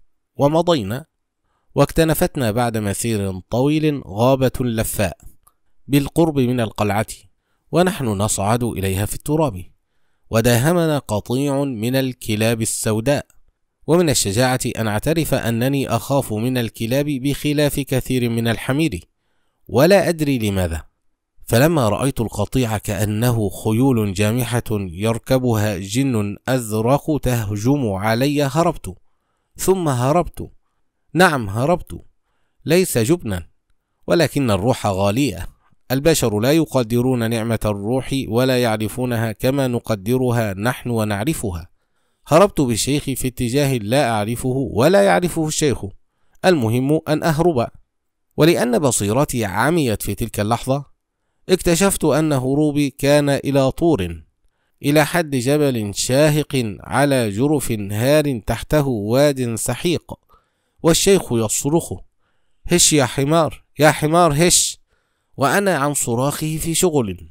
حتى إذا أشرفنا من الجرف على الوادي شهقت ونخرت. وجحظت عين الشيخ من هول المفاجأة وراح يشتم. ولكنني تمالكت حوافري فحبستهما في الأرض. ولكن الأرض كانت طينا زلقا فتزحلقت حوافري الأمامية. وبحثت في أقل من ثانية بعيني عن صخرة ناتئة قليلا أحبس خلفها قوائمي أو أبرك فوقها. فوجدتها فسارعت بوضع قائمتي تحتها فاختل توازني. فألقيت بالشيخ من فوق ظهري فطب على الأرض طبا شنيعا وندت منه صرخة عالية. وهوى نعم هوى الشيخ مات. صرخت الشيخ أكلها وهوى أكثر. وكاد قعر الوادي الساحق يجذبه إليه لولا أن جذع شجرة من تلك الأشجار التي تنبذ من بين الصخور حمته فتعلق بها. وظل الشيخ ينظر إلي مذعورا وأنا فوقه ولم أدري ما أفعل. فمددت عنقي لكي أعض على يده فأخرجه بقوة قوائم الأمامية بعد أن أركزهما على الصخرة الصغيرة الناتئة من تحتي ولكن عنقي لم يكن ليصل إلى الشيخ. وراح الشيخ يجأر إلى الله. اللهم لا تهلكني بذنوبي يا رب الأرباب. وراح يتوسل حتى إنه بكى بكى بحرقة. وراح صوته يخرج ممغوطا من خلال بكائه. أعرف أن ذنبي عظيم ولكنك رب رحيم. فسألته ما ذنبك؟ فصرخ مرعوبا اذهب واطلب لي النجدة. فقلت إلى أين؟ فقال وهو يتأرجح مثل بعرة في قفا الشاة إلى أي مكان إلى أي شخص يمكن أن يساعدني؟ وشد أكثر على جذع الشجرة التي يتعلق به. فقلت له يا شيخ ما ذنبك الذي بسببه وقعت في هذه المصيبة؟ فاحمر وجهه غضبا وقال هل هذا وقته؟ اذهب أيها اللعين واطلب لي النجدة. فأرحت قوائمي الأمامية على الصخرة وأخذت نفسا عميقا وقلت لن أذهب قبل أن تخبرني. فجن جنونه وهم أن يرميني بالرصاص لو كان يملك مسدسا ولكنه حتى لو كان يملك فلن يفعل لأنني أنا خيط نجاته الوحيد الذي عليه شاء أم أبى أن يتشبث به.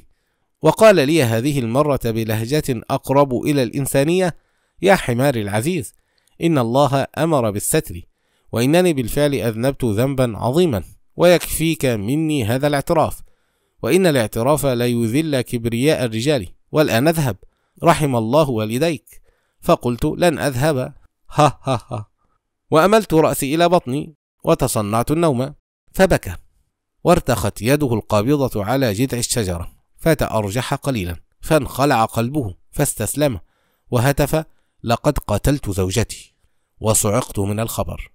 ولم أكن أعرف أن للشيخ زوجة.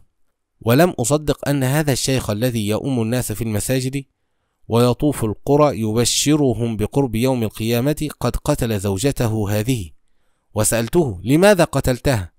وبكى مثل طفل هذه المرة وقال هل ستفتح معي تحقيقا؟ أنقذني. وأعدك أنك إذا أنقذتني وأعدتني إلى سوف أن أخبرك بكل شيء. وعد وعد. وركضت عائدا عن الطور ودعوت الله ألا أجد الكلاب في طريقي. وركضت حتى وصلت إلى سوق عجلون قديمة عند ساحة المسجد فإذا الناس لاهية تروح وتجيء وتصيح على البضاعة.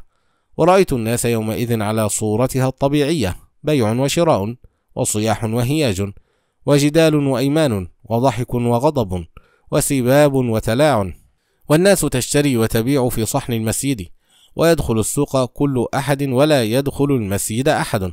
ثم يناديها مناد من تحت التراب بعد انتهاء البيع والشراء يسمعه كل من باع واشترى ويلبيه دون أن يدري كيف كان هذا الصوت الذي لم يتخلف عن إجابته أحد مهما باع واشترى هو صوت الموت في المقبرة التي لا تبعد إلا خطوات عن ذلك السوق وعن ذلك المسجد.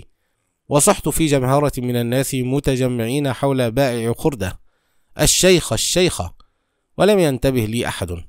فقد كانت الكيزان والنحاسيات والآنية المعروضة وقرعتها تحجب صوتي عنهم لكنني صدحت الشيخ الشيخة وانتبه إلي أحدهم ولم يصدق أن حمارا يتكلم. فأردفت حتى أقضي على شكوكه الشيخ الشيخة فالتفت حوله مذعورا ثم حدق في وهتفت من جديد. نعم أنا الذي أتكلم. هيا بنا إلى الشيخ واقترب مني حذرا. هل أنت بشري؟ لا أنا حمار. حمار ويتكلم لغة البشر. قدرة الله يا سيدي. معجزة عبقرية حمار. سمها ما شئت. أوه ابن من أنت؟ وماذا فعلت حتى مسخك الله على هيئة حمار؟ وأغضبني قوله هذا فهتفت وأنا أكز على أسناني الكبيرة. ربما أنت الآن حمار مسخك الله على هيئة إنسان وتوقعت منه أن يغضب لكنه لم يفعل وبدل أن يغضب راح يقهقه حتى جذب انتباه الكثيرين في السوق وهتف. حمار ظريف على كثرة الحمير التي صادفتها في حياتي لم أجد أظرف منك واقترب من أذني وهمس فيهما همسا دافئا. قل لي ابن من أنت؟ ومن أي عشيرة وسأكتم السر؟ وضحكت بدوري فلم يكن يدري أن التفاخر بالأنساب والكبرة على الخازوق كما يقولون لا تكون إلا بين قليل العقول من البشر. أما نحن الحمير فنتفاضل فيما بيننا بالعمل وبقدرتنا على الإنجاز. واقتربت أنا منه بدوري وتحركت في غريزة العض وتخيلت نفسي أقضم أذنه وطرفا من وجهه ولكنني تعوذت بالله من شياطين الإنس وهمست والآن دعك من هذا العجب الذي لا طائل منه. وتعال معي إلى سيد الشيخ إنه على حافة الموت ويحتاج إلى من ينقذه. وبانت هذه المرة في وجهه علامات الجد وقال هل أنا حمار حتى أرد عليك؟ واستدرت معطيا إياه قفايا واستعددت حين رفعت رجلي الخلفيتين أن أرفصه فأطيح بأسنانه في ضربة واحدة ولكنني قلت لا لعله الوحيد الذي يمكن أن ينقذ الشيخ فهو مفتول العضلات وفي أواخر العشرينيات من عمره وتتوفر فيه أسباب النجاة. وتخيلت الشيخ وقد ازرقت ذراعاه وانحبس الدم في وجهه وهو متعلق في غصن الشجرة. ويرى الموت من تحته وحشا فاغرا فاه يكاد يلتقمه. فاكتفيت من فهم هذا البشري الفضولي بهذا الحديث ومددت فمي إلى كم قميصه فسحبته بفمي. وجررته بقوة وأنا أقول ليس الوقت وقت فلسفاتك. هيا بنا. فصاح سأذهب معك سأذهب ولكن دع كمي. وأركبته فوقي ومضيت. وفي المحال التي تنتشر على جانب الطريق الصاعد إلى جبل الهاوية مددت عنقي إلى أحد الحبال المعلقة أمامها. وبفمي أخذت حبلا من هذه الحبال التي تربط بها الخيش على البغال وقلت ليسامحني الله على هذه السرقة الصغيرة. لكنها وسيلة لإنقاذ روح آدمي يستغيث. وطرت بالفتى إلى الجبل فلما سمع الشيخ أصواتنا وكان على وشك أن يتردى في الوادي فتندق عنقه ويتمزق لحمه على الصخور استبشره وتشبث بالحياة أكثر. وأنقذناه أنا والفتى الغريب. ولما رأى الشيخ أنه أفلت من الموت بعد أن رآه آلاف المرات في سقطاته هذه وتنفس الصعداء وأدرك تماما أنه نجا قبل يد الفتى الغري وشكره قائلا أنا مدين لك بحياتي. ثم ركبني وأهملني تماما ولم يقل لي كلمة شكر واحدة. وبكيت في داخلي من نكران الشيخ لإنقاذ إياه ولم أسمع منه وهو يهمز بكعب كندرته بطني ويضربني بعصاه بين أذني إلا كلمة حاه يا حمار يا حمار حاه ومررنا في الطريق على كنيسة وفتن الشيخ بالعلم الذي عنده وكاد يقول أنا أعلم أهل الأرض. فقد انقطعت للقراءة والتدريس ما يربو على نصف قرن. وضحك. وقال سأدخل إلى هذه الكنيسة وأناقش القس فيها وسأتغلب عليه. فقلت له إن كان هدفك أن تتغلب عليه فقد هزمت نفسك من البداية لأن انتصار المخلوق لنفسه علة الخسارة. أما إذا كان هدفك معرفة الحق والحقيقة والانتصار لهما فستكون لديك فرصة للفوز. واستخف الشيخ بقولي وسمعته يحدث نفسه ماذا يمكن أن يصدر عن حمار؟ ولويت عنقي بعيدا. وهو ما زال يحثني ملوحا بقبضته في الهواء ومتوعدا القصة بالبراهين الساطعة. وأردت أن أقول له المراء لا يأتي بخير فدعك من هذا كله. ولكنه أبى. وضربني ثانية بين أذني فغضبت. ولكنني كتمت غضبي. وتمنيت في أعماقي أن يهزم الشيخ. ثم استغفرت ربي من هذا الخاطر. ودخلنا الكنيسة. فإذا بهوها وسيع وسقفها عال ونوافذها ملونة وقناديلها مدهشة وجدرانها تمتلئ بالرسومات العذراء والمسيح وعدد لا أحصيه من القديسين وفي قلب الكنيسة رأيت المذبح. هكذا يسمونه على ما أظن والعلم عند الله. وفي المذبح صلبان كثيرة وتماثيل أكثر وبين نوافذه أيقونات أيضا. وشعرت أنني في متحف من القرون الوسطى. كل هذا عاينته من الباب الكبير قبل أن ندخل إلى الداخل. ولوى الشيخ عنقي وذهب بي إلى مربط أسفل الكنيسة لكي يربطني هناك ويدخل وحده. وهتفت في نفسي كم أنت أناني؟ وعاندت الشيخ فلم أطاوعه وصلصلت. فملأ نهاق المكان وتردد في أصداء الكنيسة الواسعة العملاقة وانتبه القس. فجاء مهرولا وهو يسأل ماذا هنالك؟ ورأى الشيخ فرحب به وقال له الشيخ أنا أريد أن أربط هذا الحمار في الاسطبل وهو يصر على الدخول فابتسم القس وقال بيت الرب لكل من أحب. فقلت في سري قس طيب وكلام عذب. وهتف الشيخ ولكنه حمار. فرد القس ولكنه خلق الله فدعه لكي يراه. ثم إنني دخلت ورحت أتفحص المكان منذهلا بالتفاصيل التي أراها. وشد انتباهي تمثال متقن الصنع ويبدو صاحبه فيلسوفا من خلال نظراته المتأملة والكتب التي يحملها أسفل بطنه قريبا من سرته أو عورته التي يسميها بعض البشر الحمامة لا أدري بالضبط. فاقتربت منه.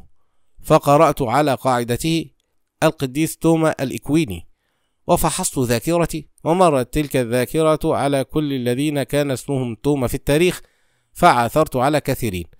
واستخرجته من بينهم. وعزمت إن أنا عدت مع الشيخ إلى صوف أن أطلب منه أن يقرأ لي كتابا من كتبه في الفلسفة. وسمعت الشيخ والقصة يتحاوران بهدوء فيما بينهما. ورأيتهما يطوفان بتؤدة في أبهاء الكنيسة. وكان يمثلان مزيجا رائعا وصورة متماوجة جميلة. الشيخ بقفطانه والقس بجلبابه. الشيخ بعمامته والقس بقلنسوته. الشيخ بالمسبحة التي تطوق عنقه وتنسدل على صدره والقس بمسبحة مثلها تماما تنتهي بصليب يستقر باطمئنان على صدره. قفطان الشيخ كحلي وجلباب القس أسود. عمامة الشيخ بيضاء وقلنسوة القس قرمزية. مسبحة الشيخ بنية ومسبحة القس حليبية. ورأيتهما ينظران إلى بعضهما بود.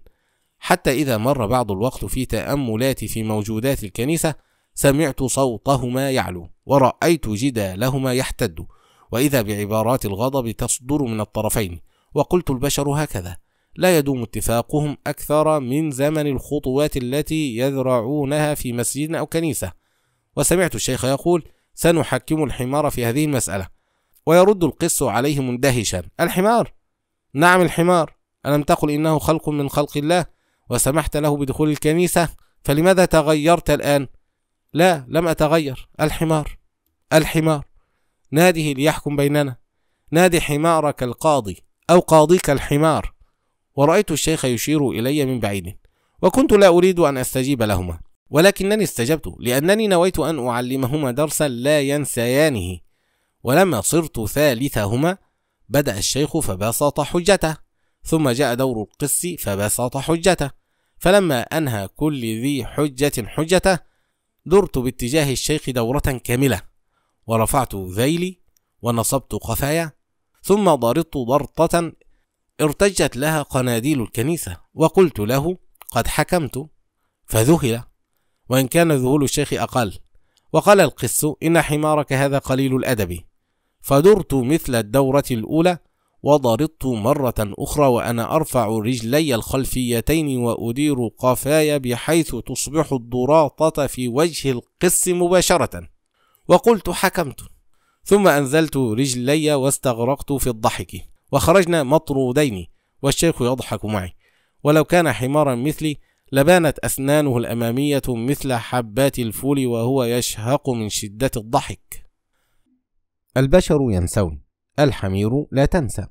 ومررنا على بركة ونحن عائدون. بركة لم يصنعها البشر ولكن صنعها تجمع مياه السيول في منخفض أسفل الجبال. ونحن قافلون من القلعة.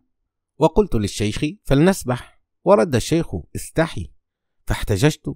وهل في قولي عيب؟ كل العيب. كيف؟ أنا عجوز وأنت تريدني أن ألهوك الأطفال؟ يبدو أنك لا تجيد السباحة وأنك خائف. وأثار ذلك حفيظة الشيخ فخلع في البرد قفطانه وفك سراويله ورمى عمامته وقفز في الماء دون أن يفكر. وصحت رائع رائع. إنك تبدو مثل مراهق واستبد بي الحماس. فنثرت البردعة عن ظهري وقضمت الحبل بأسناني وركضت إلى البركة وغطست مع الشيخ ورحنا نسبح مبتهجين. وكانت الحرارة تقترب من الصفر. وفكرت بعد أن قطعنا أنا والشيخ عدة أشواط في البركة. يا لنا من مجانين. ولما خفت حماسنا تسللت إلينا البرودة. فهممت أن أخرج من البركة قبل الشيخ. فقد بدأ البرد يكسر عظامنا. وعرفت أن الشيخ قد ناله ما نالني وفجأة سمعنا صياح أطفال من العشيرة التي تسكن هناك. وكانوا فيما يبدو يتلصصون علينا. فلما ألفوا ثياب الشيخ والبردعة ملقيات بإهمال في الخارج ركض أحدهم فأخذ ثياب الشيخ القفطان والسراويل والعمامة ولفها تحت ذراعيه وأطلق سيقانه للريح وهو يصيح. وجاء الثاني فأخذ البردعة وكانت ثقيلة عليه فجرها جرا وراح يهرب. وصح الشيخ بهم يا أولاد يا أولاد اتركوا لنا الثياب.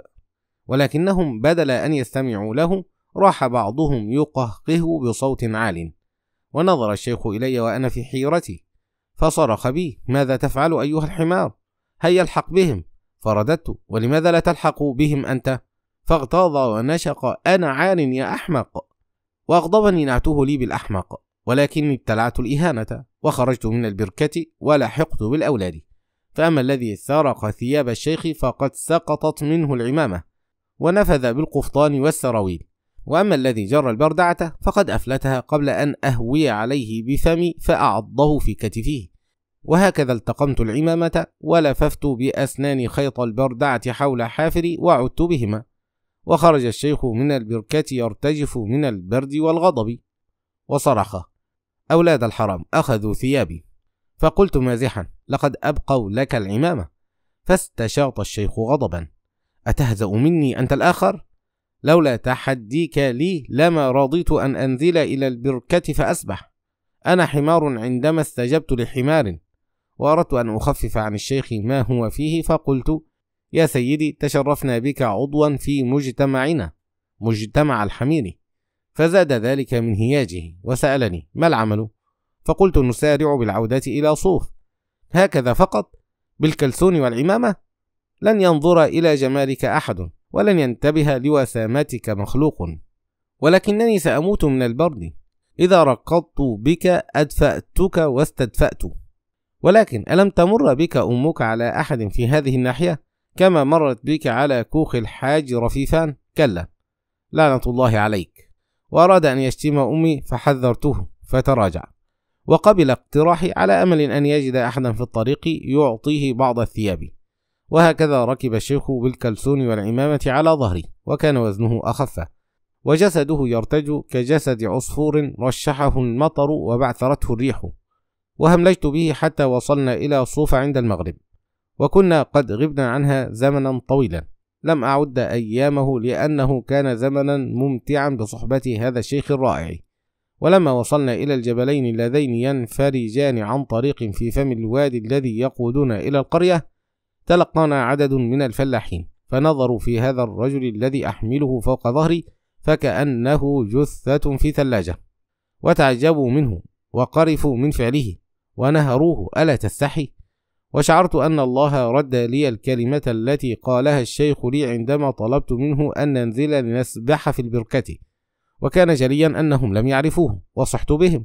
هذا الذي أحمله هو الشيخ علي ألا تساعدونه؟ ولكنهم تلفتوا حولهم كأنهم شكوا في أنني أو أنه من يتكلم ومضوا في حال سبيلهم. وأراد الشيخ أن يقول لهم يا سفلة ألا تساعدون من ساعدكم على معرفة الله؟ ولكن صوته خرج من فمه مثل دم يخرج من فم مسلول. ومضيت إلى بيت الشيخ. وكان أذان المغرب يصل إلى أسماعنا من المسجد القديم. ويبدو أن أهل القرية قد وكلوا طفلا جاهلا ليؤذنه لأنه أخطأ فيه أكثر من عشر مرات. ولما صرنا على مقربة من بيت الشيخ ظهر لنا عدد آخر من الفلاحين كبار في السن وتعرفوا على الشيخ مع أن الظلام كان قد حل. وصعقوا وهم يرون حمامته تغور بين ثاقيه العاريتين.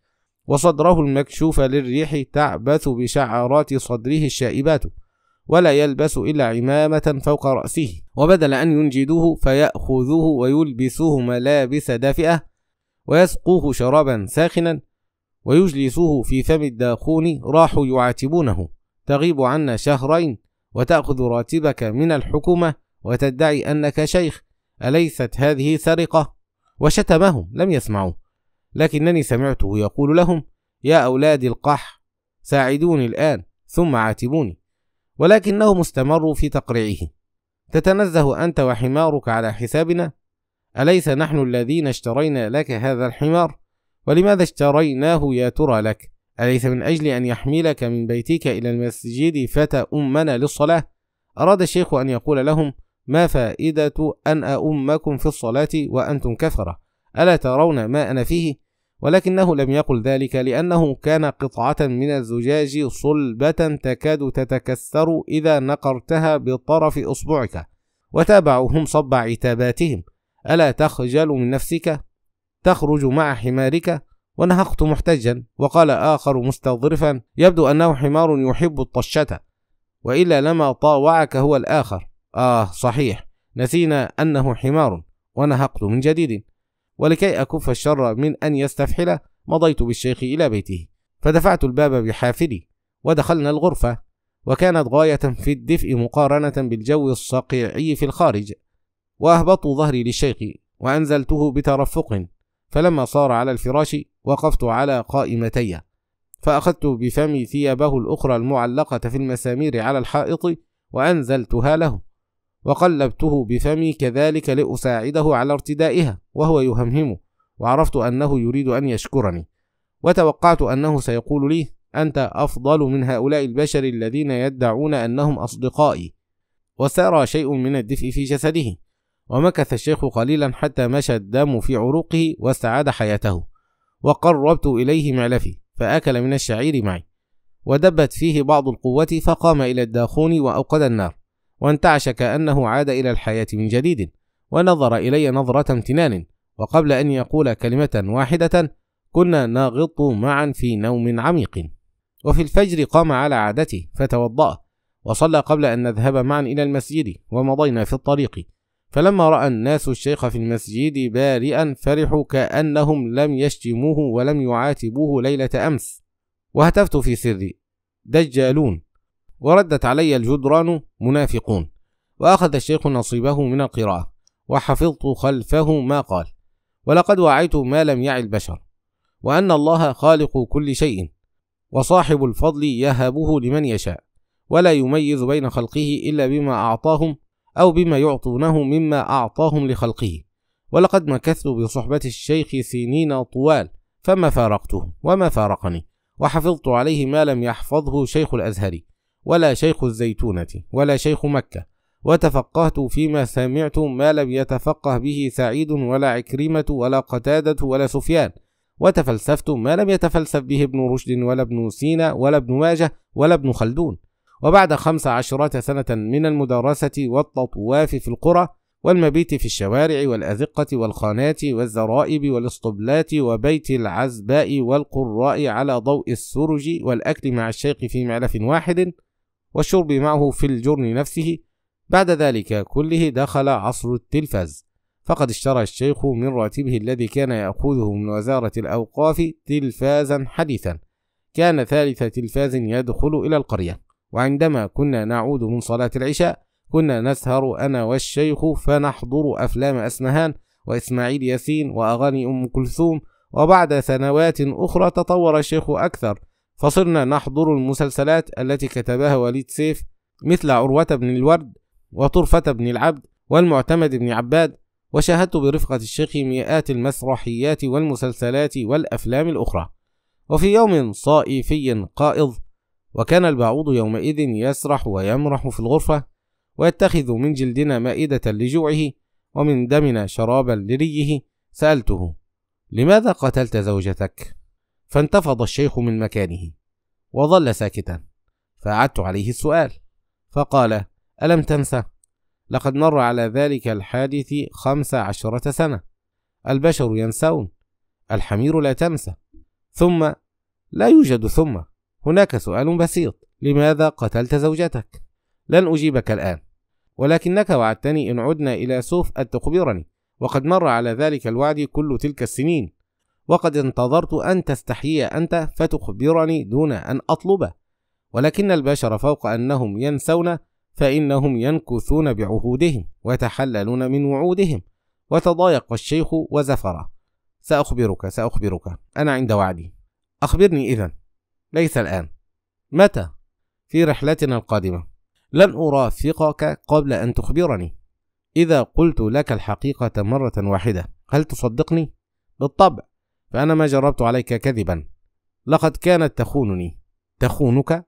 قلت إنك لا تريد استضاحات وستكتفي بالإجابة الصريحة. بالطبع بالطبع. ولكن الموضوع أثار فضولي. وهز الشيخ رأسه وقال لقد كانت تخونني مع فلاح آخر. معقول؟ لقد كنت شابا سيء الأخلاق. وهززت رأسي متأسفا. وتابع الشيخ دون أن أطلب منه ذلك. وكأنه وجد راحة في الحديث. لقد كنت أعود بعد منتصف الليل سكران إلى البيت وكانت زوجتي تنصحني ولكنني كنت أضربها. وتنهد الشيخ قبل أن يتم. وبعد سنتين من زواجنا ولدت لي ابنة سميتها مريم وكانت فتاة جميلة جدا وأولعت بها ولعا شديدا ولكنني لم أقلع عن عادتي في السكر. وما كنت أجنيه من الحراثات في حقول الناس في النهار كنت أنفقه على ملذاتي في الليل. وسكت الشيخ. وساحت على خده عبرات حارة واقتربت أكثر من الشيخ أواسيه وشجعته على المضي في الحديث. كلنا نخطئ. وماذا حدث بعد؟ طلبت مني نقودا من أجل إطعامها وإطعام ابنتها. ولكنني كنت في عالم آخر. وكنا دائما ما نتشاجر في الليل بعد أن تشم رائحتي. وهي تقول حرام عليك ضيعتنا وضيعت ابنتنا وليس في البيت لقمة خبز واحدة وأنا أرد عليها بصفعها على وجهها حتى إذا كان يوم عدت فيه مبكرا على غير عادتي فإذا هي في حجر رجل آخر.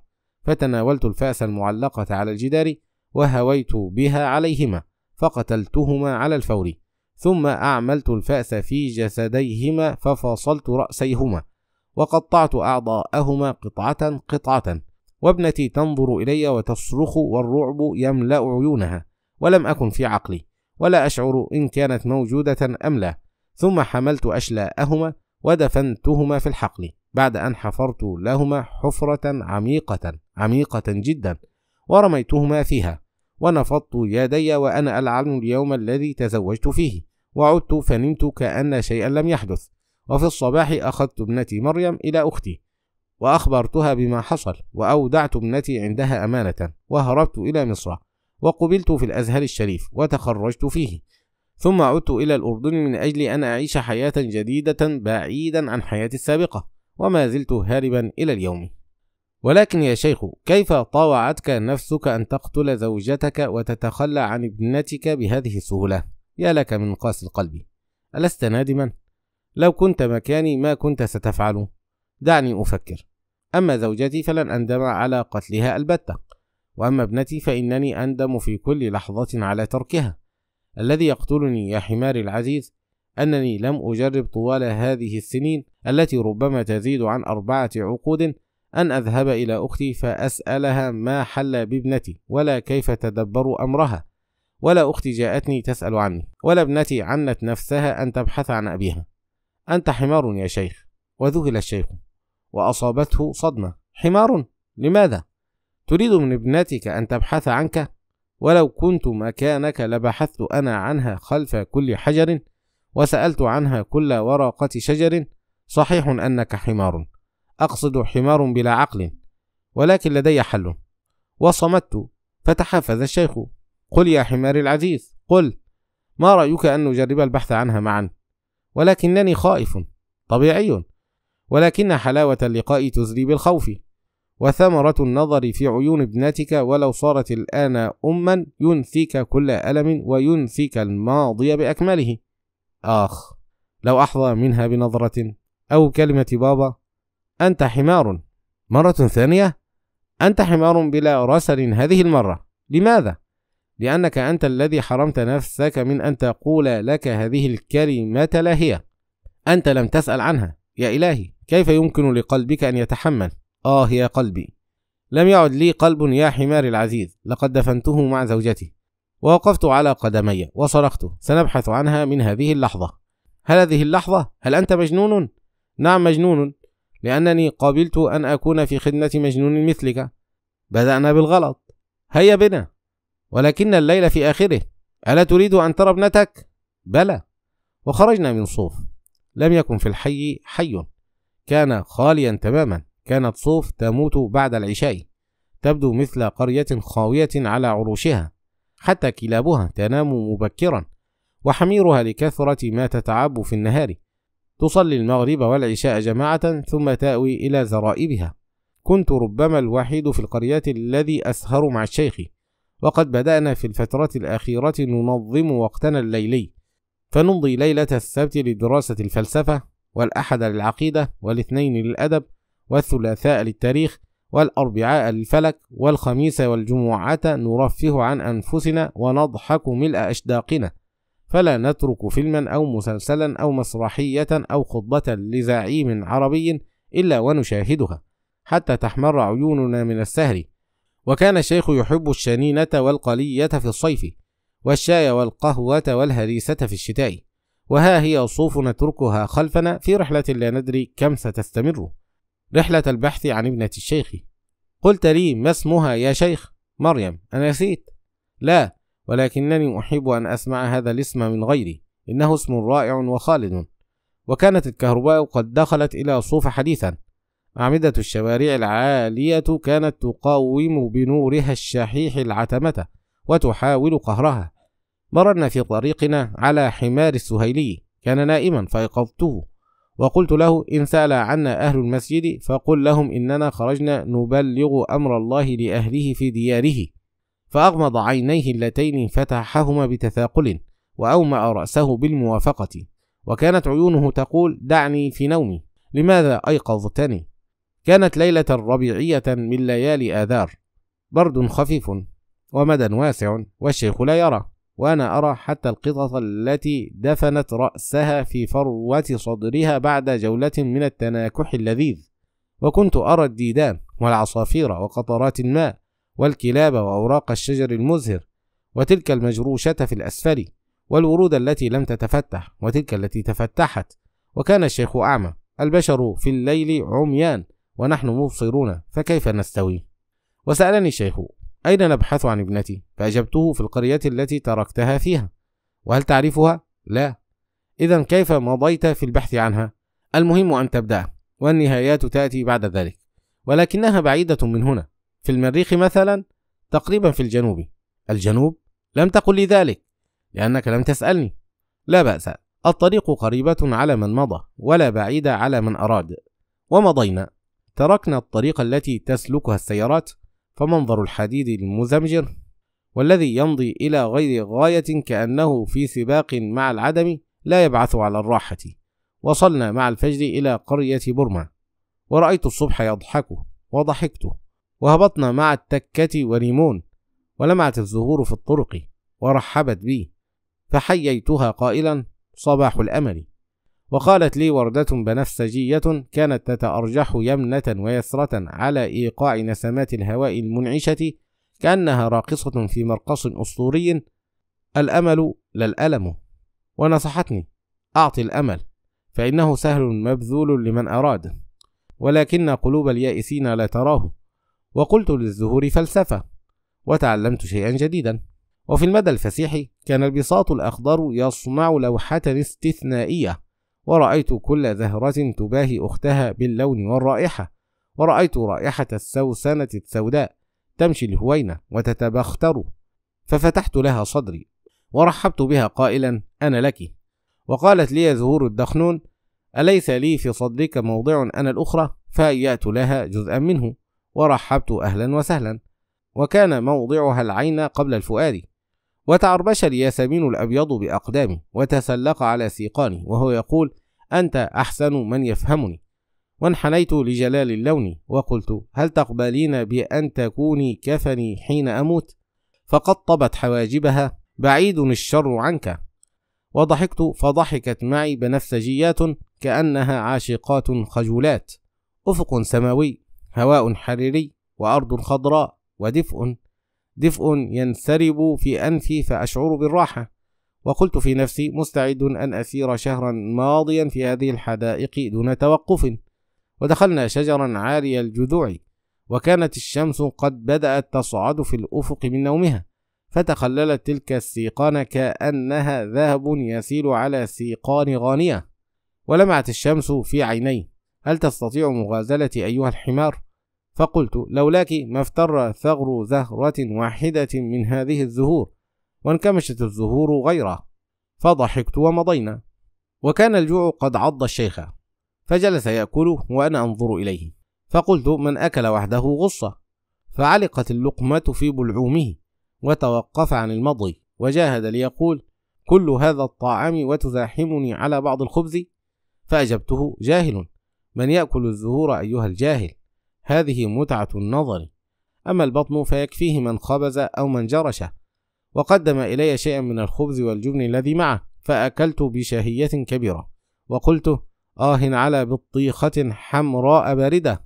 فرد الصيف أمامك. ما أطول الصيف على من انتظر.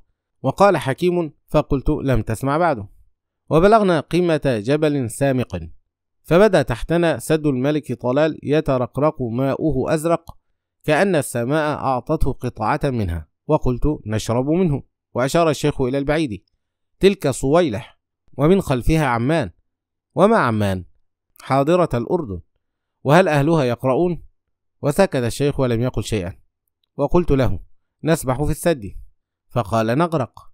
فرددت مناكفا تخاف. فرد لن تدفعني كما دفعتني يوم اشتفينا.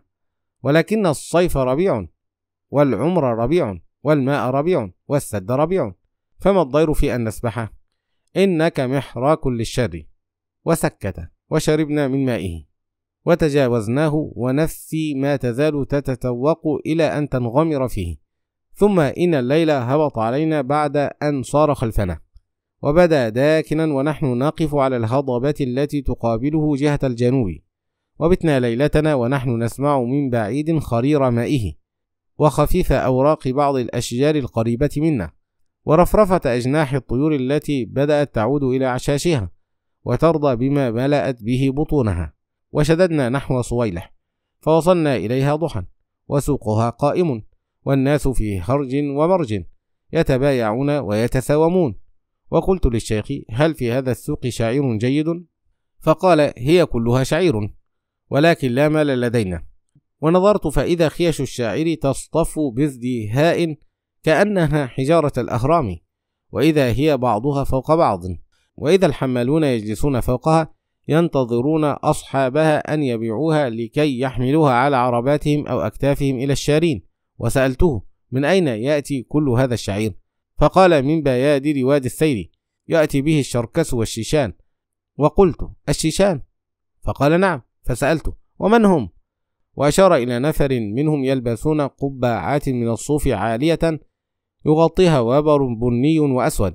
فأعجبني منظرها ولكنني هززت رأسي غير مرة فتحرك الرسن مع تلك الهزات فأصدر إيقاعا موسيقيا جميلا.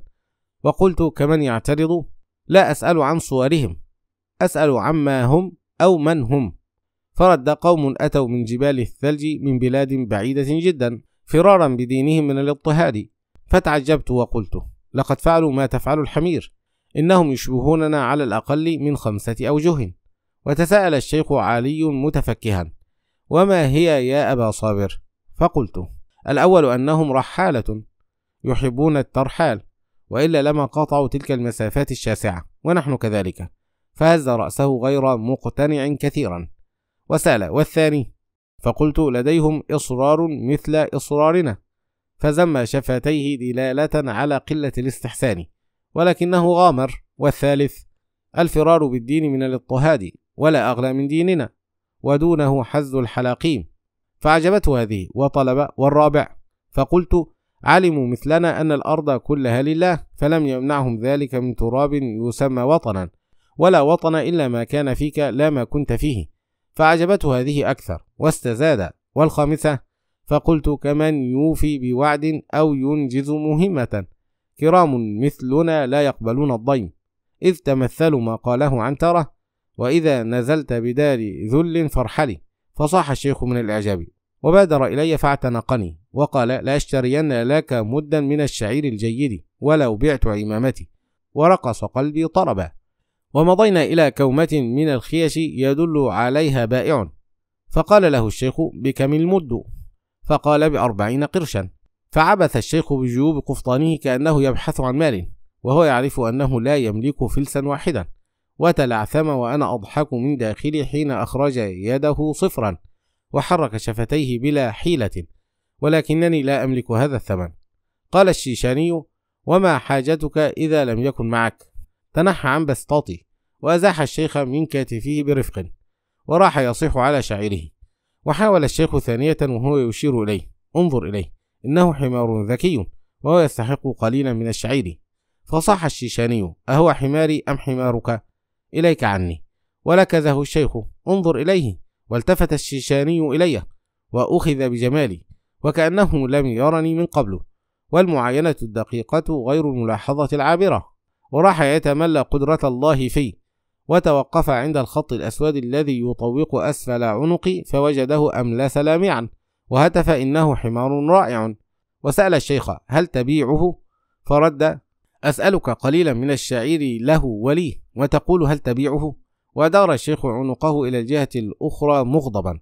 وغر الشيشاني بعض الدنانير الموجودة في جيبه فهتف وهو ما يزال يعاينني ويتلمس جبهتي الواسعة. ويحدق في عيني الكحلاوين أدفع لك دينارا وربع دينار ثمنا وافيا لازما ذمتي وأعدها لك الآن أمامك. وحرك القروش والدنانير التي في جيبه ليغري الشيخ. وحينها لم يتمالك الشيخ نفسه وهتف بغضب لا أبيعه بوزنه ذهبا. وجحظت عين الشيشاني ثم ضيقهما كأنه يستعد للقتال. أما أنا فقد دخلني الزهو وأحببت الشيخ كما لم أحبه من قبل ونويت أن أساعده على أن يجد ابنته ولو أكلت الرحلة من قتبي وأهلكت حوافري وبيضت رموش عيني واستدار الشيشاني هل تريد له مدا من الشعير بالفعل؟ فقال نعم. إذا يعمل في حقلي في البيدار نهارا ويحصل على أجره بكد ذراعيه ورفض الشيخ. لكنني همست في أذنه وافق يا صديقي وسنحظى معا بطعام لذيذ. وافق الشيخ بعد تردد. وقال للشيشاني إذا غدا في الصباح نكون عندك. وعدلنا في الطريق إلى المسجد فقد نادى المؤذن لصلاة الظهر. وكان الشيشاني من صويلح أهم معالم تلك البلدة. وهبطنا الدرجات العشرين إلى قاع المسجد والناس تنظر إلي وتستنكر دخولي. كأنني أدخل بيوتهم أو أقتحم منازلهم. وكأنهم لا يدرون أن المساجد لله. وأن هذا بيته لا بيتهم وتركناهم في استنكارهم. وأوقفني الشيخ على الباب وقال تدخل أم تسمع من هنا؟ وأردت أن أعفي الشيخ من الحرج فقلت بل أسمع من هنا. وكان في رأس الشيخ الكثير من العلم ليقوله للناس بعد الصلاة وأعجب الناس بحديثه. وتحمس أحدهم فقال عشاؤك الليلة عندي. فقال الشيخ والحمار؟ وأشار إلي أنا الواقف بالباب. فرد والحمار. وبتنا تلك الليلة في بيت كرم وجمال. واستعدنا بعض قوانا من أجل حراثة الغد وتعبه. وفي الغيب ما يصنع رب الغيب. فلم الأسى؟ لا أعرف بالطريق من الحمير. وأخذ الشيخ على عادته بعض الكتب من مسجد الشيشان. وهو يردد عبارته الأثيرة لا شراكة إلا في أربعة الماء والكلأ والنار والكتب. ثم وهو يمطي شفتيه من كتب علما ألجمه الله بلجام من نار وأول كتم العلم التباهي به خلف زجاج المكتبات حتى تأكله الغبرة دون أن تمسه يد. أنا بأخذ الكتب من هنا أخرجها من قبورها وأعيد لها الحياة مع حمار العزيز. وكنت أهز رأسي موافقا إياه وأردفت فلنرفع شعار المعرفة للجميع. والشيخ يبتسم. ومضينا إلى بيدار وادي السير وكان الجو لطيفا والسماء صافية والناس رائقة وكل يغدو إلى رزقه. وفي الطريق قبل أن نصل البيدار قال لي الشيخ هل لك بأبيات عرار في هذه النواحي؟ فقلت قد سمعتها. فقال مني؟ فقلت نعم. فقال فأنشدني نشيده رحم الله والديك. فقلت حتى نبلغ النشذة. فقال ولم؟ فقلت لأن عرار لما رأى الجميلات هناك قال أبياته المشهورة تلك. فقال وجب فلما بلغنا النشذة والهوى يسهو وقفت فمددت عنقي وفتحت فمي وتهيأت للنشيد وشدوت. ليت الوقوف بوادي السير إجباري وليت جارك يا وادي الشتا جاري. فتنهد الشيخ حتى على صدره فبان كأنه قبة. وشعرت أن له في هذا المكان منازل هوى فأردفته. لعلني من رؤى وجدي القديم به. أرتاد مسا للجنيات أشعاري. فزفر الشيخ حتى شعرت أن حر جهنم في زفيره. فلما وصلت في إنشادي إلى قوله فألمس الشوق في أطلال ذاكرتي وألمح الحب في أنقاض أوطاري. هاج الشيخ. فرقص على رجل واحدة وخلع عمامته وراح يلوح بها وهو يصيح هيه هيه ثم إنه رماها وحجل كما تحجل الطير وتمايل كما تتمايل جذوع أشجار الحور العالية الرفيعة عند هبوب الرياح ثم صفقه وأخذ يخلع قفطانه ورماه في الهواء ثم هم بخلع سراويله فناشدته الله ألا يفعل. فإن التصابي وإن كان محمودا عند الطرب إلا أنه يغري بنا السفهاء ثم على صوته بالنشيد. ونحى كأنه قيصارة في فم عاشق مفؤود وأكمل بنفسه ولا أرى الخفيرات البيض معرضة عني تأفف من خبري وأخباري. فرقصت معه وحانت مني التفاتة إلى الوراء. فإذا خلفنا عدد من الحوريات يرددن النشيد معنا. وإذا رمانهن يتأرجح فوق صدورهن وإذا هن كأجمل ما خلق الله. وشعرت أنني في الجنة أطوف بين الأتن العذراوات التي لم يمسهن قبلي إنس ولا جان. وشعر الشيخ مثلي أنه في الجنة معي يطوف بين الحوريات. وأخذنا النشيد حتى سكرنا وذهلنا عن أنفسنا. ولم نزل نرقص حتى لسعتنا الشمس. وقهقه الشيخ وهو يرمي في شباك الحسنوات آخر بيت ولا أبالي إذا لاحت مضاربهم مقالة السوء في تأويل مشواري. وضحكت مع الحسنوات ولملم الشيخ ثيابه فلما التفتنا خلفنا لم نجد حسناء واحدة. وإذا هي صدى لا ندري من أين جاء وإذا الهواء يرقص عابثا بنا وحدنا ويخفف عنا وجد القلب وحر الشمس. ونظر الشيخ إلى ظله وقال لقد تأخرنا على الشيشاني وإن لم نحرث حقله اليوم هلكنا من الجوع والطريق أمامنا طويلة وهرعنا إلى الحقل. وبدأت الحراثة وأنا في غاية النشاط والسرور من أبيات عرار. وقلت للشيخ وهو يعمل السكة المربوطة على عنقي في التلم الأخير بمثل هذا فحدثنا إذا قصدنا الجنوب. فإن الطريق الطويلة بالحديث الطيب تقصر ألم تسمع قولهم في الغابرين؟ أتحملني أم أحملك؟ وأقر الشيخ بكلامي وهو يمسح عرقه. وكان النهار قد انتصف منذ زمن وراح الزوال يزول هو الآخر والشمس تستعد للمغيب. وجاء الشيشاني آنئذ ونظر إلى الحقل فأعجبته حراثتنا وقفز من الفرح ومد إلينا المدة. وقال تستحقونه عن جدارة؟ فقلت له زدنا فإنا قد أجدنا فنهرني. وقال الطمع من شيم الأنذال فخجلت وأقررت وسكت الشيخ على بهدلتي كأنه أقره هو الآخر على ذلك. ومضينا بعد أن شربنا ماء عذبا من إحدى الأجران المنتشرة هناك. وفي طريقنا كنا نرى الأفاعي السوداء من الإسفلت تتلوى تحتنا وهي تقفز بالمركبات الحديدية إلى المجهول. وسألت الشيخ إلى أين يمضون؟ فقال لا أدري. فأردفت ونحن إلى الجنوب إلى أي جهة في الجنوب؟ الجنوب كلها جهة وهذا يكفي. فعلمت أن الشيخ ناسي اسم القرية وهو سيتذكرها من الأطلال لا من الأسماء ولكن من ينسى ابنته. وأردت أن أسأله عن اسمها للمرة الثالثة وأنا أعرفه لأن موسيقاه لا تقاوم ولكنني عدلت إلى سؤال آخر. ما اسم أختك التي تركت عندها ابنتك؟ فرد أمينة. فهمهمت أمينة أمينة. اسم جميل هو الآخر. أسماء الفلاحين جميلة.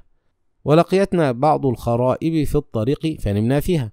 ومررنا على مساجد كثيرة في القطرانة واللجون. فحدث الشيخ أهلها وأخذ على عادته بعض كتبها. وصلينا مرة في مسجد لم يجد فيه الشيخ غير كتاب. رياض الصالحين فتركه. فإنه زاد من لا زاد له ممن أراد أن يحدث الناس ولا شيء في عقله. وأكلنا وشربنا عند أهل الخير. وقد نقصنا السفر شيئا من صحتنا رغم ذلك. وكان الشيخ في الليالي يتذكر عهد ابنته فيبكي وينوح كأنه طفل صغير. وقال الشيخ ننعطف من هنا فقلت له من هنا الكرك فقال نعم ولكن كيف عرفته؟ فقلت إننا نحن جنس الحمير أكثر الخلق سياحة في الأرض. فما من بقعة أو بلدة أو نشز أو غور أو سهل أو جبل إلا وبركناه بأقدامنا. نحن أقدام من الإنسان على الأرض ومن يدري من يعيش بعد الآخر عليها. وإنني كلما مررت بجهة من هذه التي يسمونها البشر الجغرافيات شممت رائحة آبائي وأجدادي. الذين عملوا بصمت وبجد بعيدا عن الضجيج والبهرجة. فعلمت أننا قدمنا لعمارة الأرض ولجعل الحياة فيها ممكنة وطيبة ما لم يقدمه أحد سوانا ممن خلقه الله. وتبسم الشيخ تبسم الرضا. وانعطفنا يمينا إلى الكرك. وكانت الجبال الجرداء تمتد أمامنا امتداد البصر. والشيخ في الظهيرة قد أمال عمامته على جبهته حتى غطت جزءا من عينيه. ونام فوق ظهري ومضيت أهتدي الطريق وحدي فإنه لا أعرف بالطريق من الحمير. وحل بنا مساء ليلة في بلدة القيصر الروماني هادريان التي يسميها الناس اليوم أدر. وكان أذان العشاء فرأى الشيخ أن نمضي إلى المسجد ففعلنا. ورأينا ونحن في الطريق خوريا يلف ذراعه حول ذراع شيخ وهما يتبسطان في الحديث ويضحكان فسأل الشيخ علي ما هذا؟ فقلت كان الخوري عند الشيخ يشرب الشاي ويذكران عهد آبائهما وأجدادهما المشتركين. فلما نادى المؤذن لصلاة العشاء قام الخوري فشيع الشيخ إلى المسجد وسيدخل الشيخ إلى مصلاه وسيذهب الخوري إلى مصلاه. كل يغني على ليلى وما في القلب إلا الله. وضحك الشيخ وضحكت معه وأردف هل صرت تعلم الغيب أيها الحمار؟ كلا يا سيدي ولكنني مشروع مخرج سينمائي يتخيل المواقف ويحكيها ولم أجد أذنا صاغية أكثر من أذنك لكي أقول لها هذيان ودخلنا المسجد فإذا الشيخ الذي تأبط ذراع الخوري هو الإمام وإذا هو يقرأ في الركعة الأولى ولتجدن أقربهم مودة للذين آمنوا الذين قالوا إنا نصارى ذلك بأن منهم قسيسين ورهبانا. وأنهم لا يستكبرون. وحسبنا الجوع والتعب فلم نسأل الناس تعففا. وآوينا إلى بيت منهدم. نصف جداره الأمامي قد حال ركاما وحجارته تشهد أن الذين سكنوا هنا كانوا قد عاشوا قبل أكثر من ألفي سنة. وكانت قناطر البيت من الداخل أيضا قد أصابها التلف وانتشرت فيها الهوام. وحمدنا الله أن الصيف لم يأتي بعد وإلا أخرج البيت كل أفاعيه. وبث كل عقاربه لرطوبته فأوينا إلى النوم. وكان الشيخ ينظر إلى السقف وهو يرتجف من الرعب خوف أن يستسلم حجر قنطرة الركن فتتداعى حجارته فوقنا فندفن تحتها ولكن الله سلم. فلما صاح الديك خرجنا من القرية. وإذا آبارها التي خفيت في الليل تظهر في الصباح فشربنا من مائها.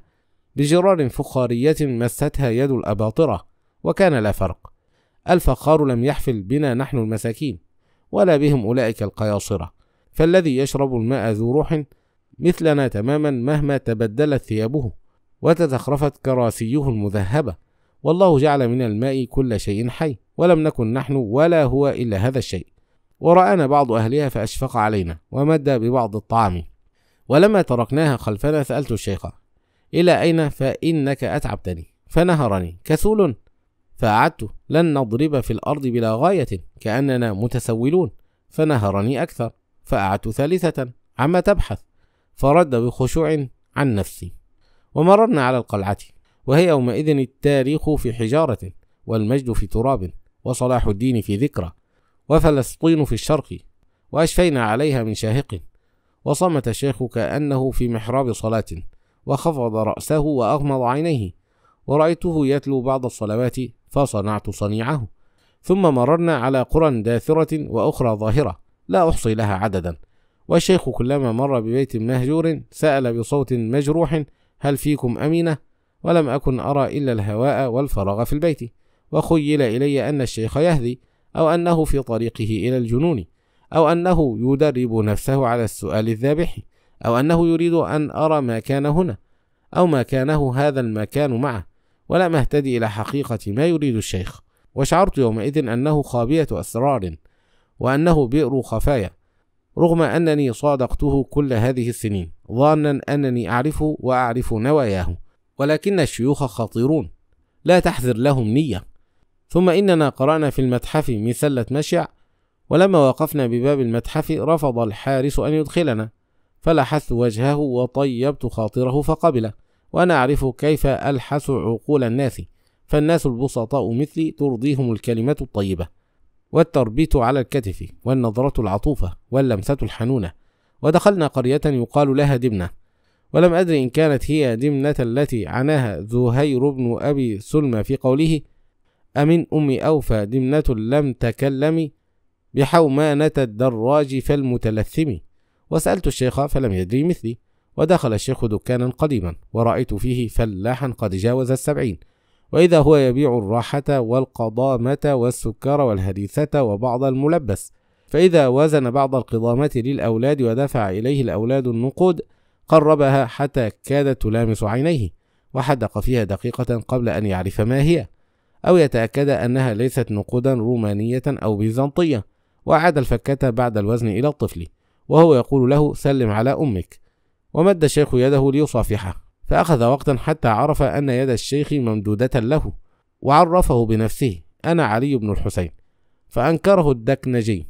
فزاد الشيخ كنا نحرث معا أتلام ناصر بن حمود فذم الدكنجي السبعيني شفتيه. فلما قال له وأمي صبحة بنت سالم عرفه حينئذ وصاح علي السكرجي. فانقلع الشيخ وأخفض رأسه وهتف بصوت مبحوح. نعم هو ولكننا تبنا. وراح الدكناجي يصيح أين غبت كل هذه السنوات؟ قتلت زوجتك وهربت؟ يا أخي ماشي. يقتل الواحد منا زوجته ويغيب سنة أو سنتين ويعود. من سيلحقك بالعصا يا صديقي؟ أما أن تغيب خمسين سنة فأنت حمار. ونهقت من ورائه. فضيق الدكناجي عينيه ولف من خلف طاولته وفتح ذراعيه على اتساعهما ثم عانق الشيخ وهو يقول ومعك حمار؟ فرد الشيخ صديقي فقال الدكنجي إن الطيور على أشكالها تقع. واستمر في العناق والهياج واستحضار الذكريات الغابرة حتى نهقت وصحت من دون دراما إذا سمحتما. قلبي الصغير لا يتحمل وأنا أتظاهر بمسح دموعي. ثم إننا أمامنا طعام ذلك اليوم والشراب والمبيت. وسأل الشيخ صديقه فما فعل الله بأختي أمينة؟ ماتت منذ عشر سنوات على الأقل فسحت دموع الشيخ على خديه ثم تمالك نفسه وسأل وقلبه يتقطع خوفا ورجاء وابنة مريم تزوجت منذ أكثر من ثلاثين عاما وأين تعيش؟ مع زوجها أعرف ولكن أين يسكن زوجها؟ سمعت أنه طفلي في أي القرى أو البلاد هو من تلك الناحية وما أدراني هل أنا الذي زوجتها؟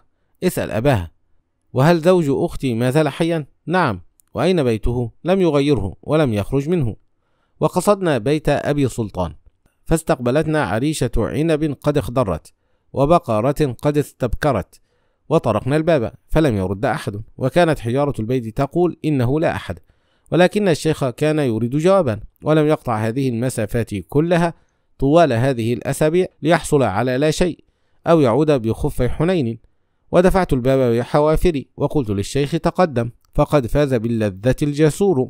ودخلنا فرأينا في صحن البيت رجلا قد بلغ الثمانين أو هو جازها ممدودا في فراش على الأرض لا يظهر منه إلا رأسه وهو يشخر شخير الموت ويأخذ قسطه الأخير من هواء الحياة. وكانت له رائحة كريهة جدا. هي رائحة البول والبراز. وهتفت أين أولاد أختك يا شيخ؟ حتى يحفظوا للرجل شيخوخته.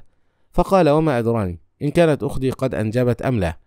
وأزحنا عن وجهه الغطاء ومسحنا وجهه ببعض الماء وانتظرنا حتى أفاق نصف إفاقة ولما رأوا وجوهنا الغريبة وخاصة وجه ارتعب فطمأنه الشيخ وقص عليه قصته وأنه شقيق زوجته المرحومة ولكن الرجل لم يستوعب شيئا وبدأ أن الخرف قد أتى على أجزاء كثيرة من دماغه وبحثنا عن الجزء المتبقي من دماغه الذي لم يصبه التلف حتى نحصل على إجابات لأسئلتنا أين تعيش مريم؟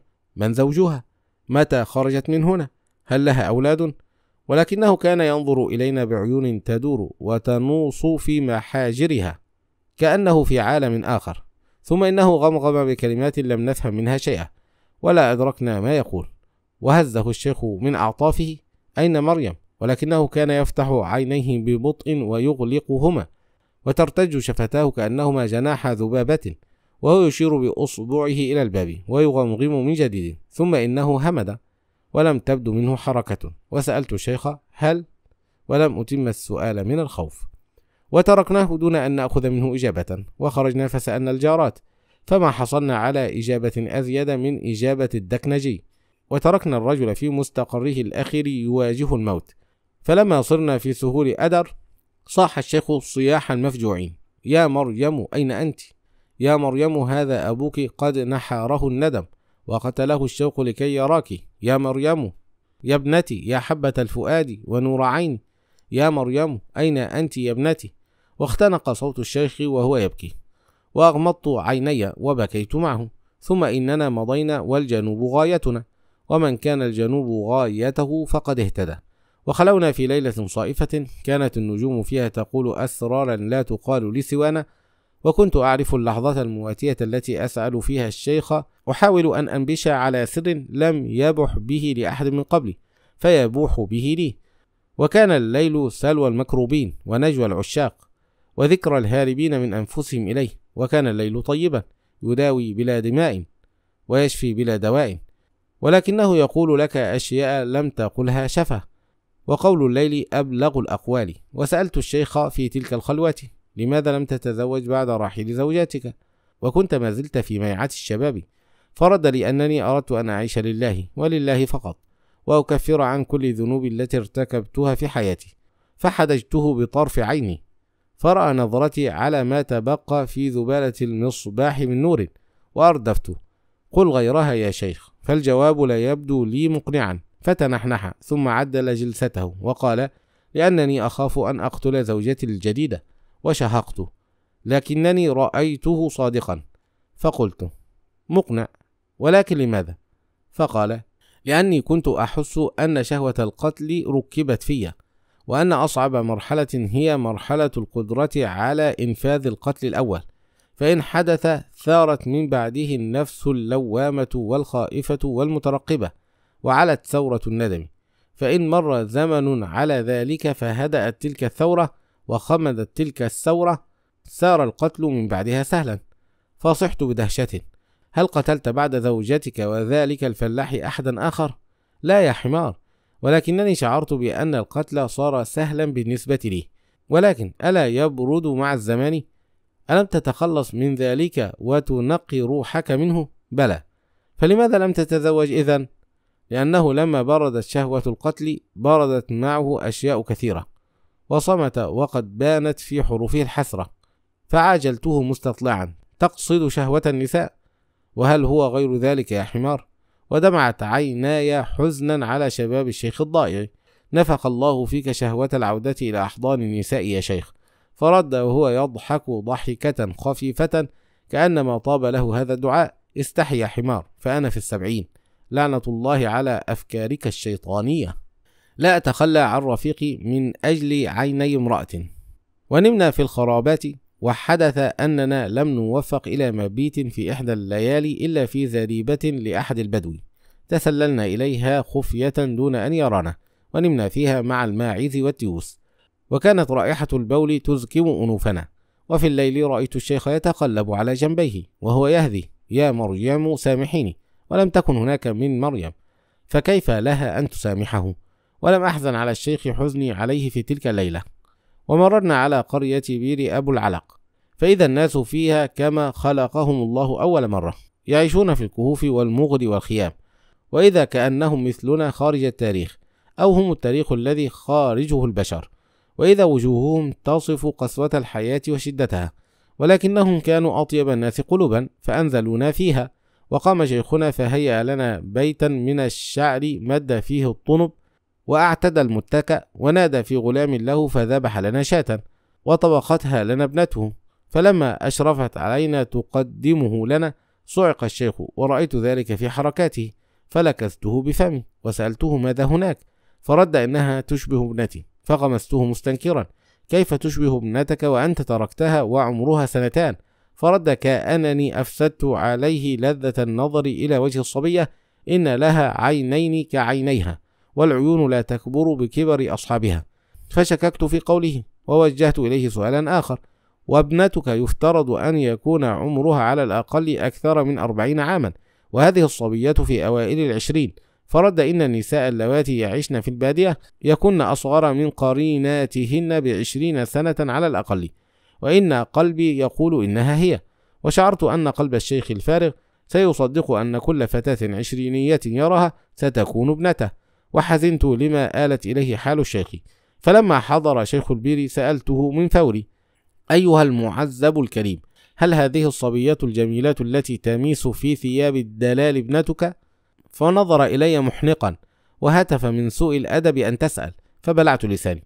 ثم إنني قمت إلى الطعام بصمت فأكلت ما في الخوان حتى ملأت بطني ثم حليت بالشعير الذي في المعلف أمام بيت الشعر فأتيت عليه بأكمله ثم دعوت بسطل ماء من مياه الواحات العذبة فكرعته عن أوله والشيخان ينظران إلي وهما لا يصدقان ما يريان ولم يدريا أن حماقتهما هي التي أثارت حفيظتي وحركت الجوع في معدتي.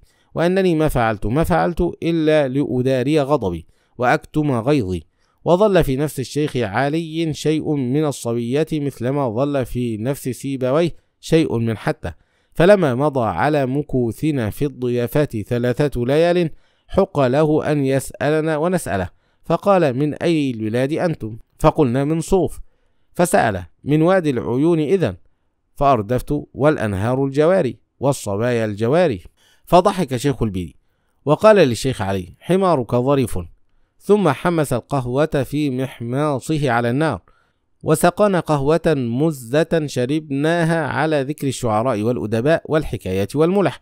ثم حمى السؤال في صدر الشيخ كأنه الإثم وعرفت ذلك من قلقه وعدم ضحكه معنا كلما سردنا طرفة أو نكتة. فلكسته مشجعا إياه على أن يقفز السؤال في وجه الشيخ ليرتاح. فحينئذ استند وبلع ريقه وسأل صبيتك التي أنضجت لنا الطعام أهي ابنتك؟ ورد شيخ البير بتأفف كأنما يريد أن ينهي الحوار عند هذه النقطة إنها زوجتي. وصاح الشيخ صيحة سارعت إلى وضع جبهتي في فمه حتى أخمدها لا تفضحنا يا رجل. وشعر شيخ البير أننا ضيوف ثقال الظل وأننا نزعنا السهرة وفي الصباح لم يكن لنا من حل إلا أن نغادر المكان بكرامتنا وغادرنا بالفعل متعجلين نسابق طلوع الصباح. وفي الطريق سألني الشيخ إنها زوجته. فمن المحتمل أن تكون ابنتي. لقد ضيعت منا فرصة أن نجدها أيها الحمار وأحسست أن فيها شتيمة. فحرمت في الدرب ووقفت كأنني نحاس مصبوب. وحاول الشيخ أن يهمزني فما تحركت خطوة. وقلت له إن كانت مرافقتي تزعجك فأكمل الطريق بنفسك. إلى أين ستذهب أيها المجنون؟ سأعود إلى صوف أو أمضي في طريق أخرى. فإن الصحبة إذا كانت على دخل لم تحتمل. وإن الطريق ونحن بهذه القلوب المعكرة لا يمكن أن يقطع ولا أن يطاق. فنزل من فوقي وقبل رأسي واعتذر اعتذارا لطيفا. وقبلت عذره فما أسرع أن نسامح نحن الحمير ومضينا. ودنونا من أذرح وهي من الكرة التي خدم فيها أجداد البشر ولها في القلب قطعة لا ترى ولكنها تحس وسمعت فيها أربعة أصوات ما تزال تحوم خالدة في المكان. لا يخفتها مر الدهر إنها أصوات علي بن أبي طالب ومعاوية بن أبي سفيان وأبي موسى الأشعري وعمرو بن العاص. ولا زالت طيوف الأربعة تختال هناك وشعرت بشيء من القداسة إن ترابها مختلف وهواءها مختلف وناسها مختلفون وحجارتها مختلفة وإنها طرف حوض من كان صديقا للشجر والحجر قبل أن يكون صديقا للبشر. إنها حوض النبي الخاتم وأردت أن نبقى أطول فترة ممكنة فيها ولكن الرياح تجري بما لا تشتهي السفن. وقال الشيخ إنه يعرف أبا عقيل في هذه النواحي وإنه كان صديقا مشتركا بينه وبين أبي سلطان فسألنا عنه فقالوا إنه في بعض حاجته الآن. ولكنه إذا هبط خفاش الليل هبط بيته. فسألنا عن بيته حتى دخلناه. ففتحت لنا الباب صبية عشرينية فلمعت عيني الشيخ وسألتها حتى لا يذهب الشيخ بظنونه بعيدا هل أنت ابنة أبي عقيل؟ فردت نعم. فيا هلا بضيوفنا وإن أبي ينتظركم. وسمعنا صوته من خلفنا يصيح من يا مريم؟ فخفق قلب شيخي. ولكزته. لقد قالت لك إنها ابنته ففيما التعلق الفارغ هذا؟ ثم إن أبا عقيل قال لها خذ الحمار إلى الزريبة واعلفيه وأهلا وسهلا بضيفنا. وابتدرتني فربتت على عنقي فإذا كفها حرير وخدها خرير وصوتها حرير ومشيها حرير. ولكن الشيخ قال بل يدخل معي. ولولا ما في قلبي من وفاء لتركت هذه الفاتنة تقودني إلى الزريبة واستمتعت بصحبتها.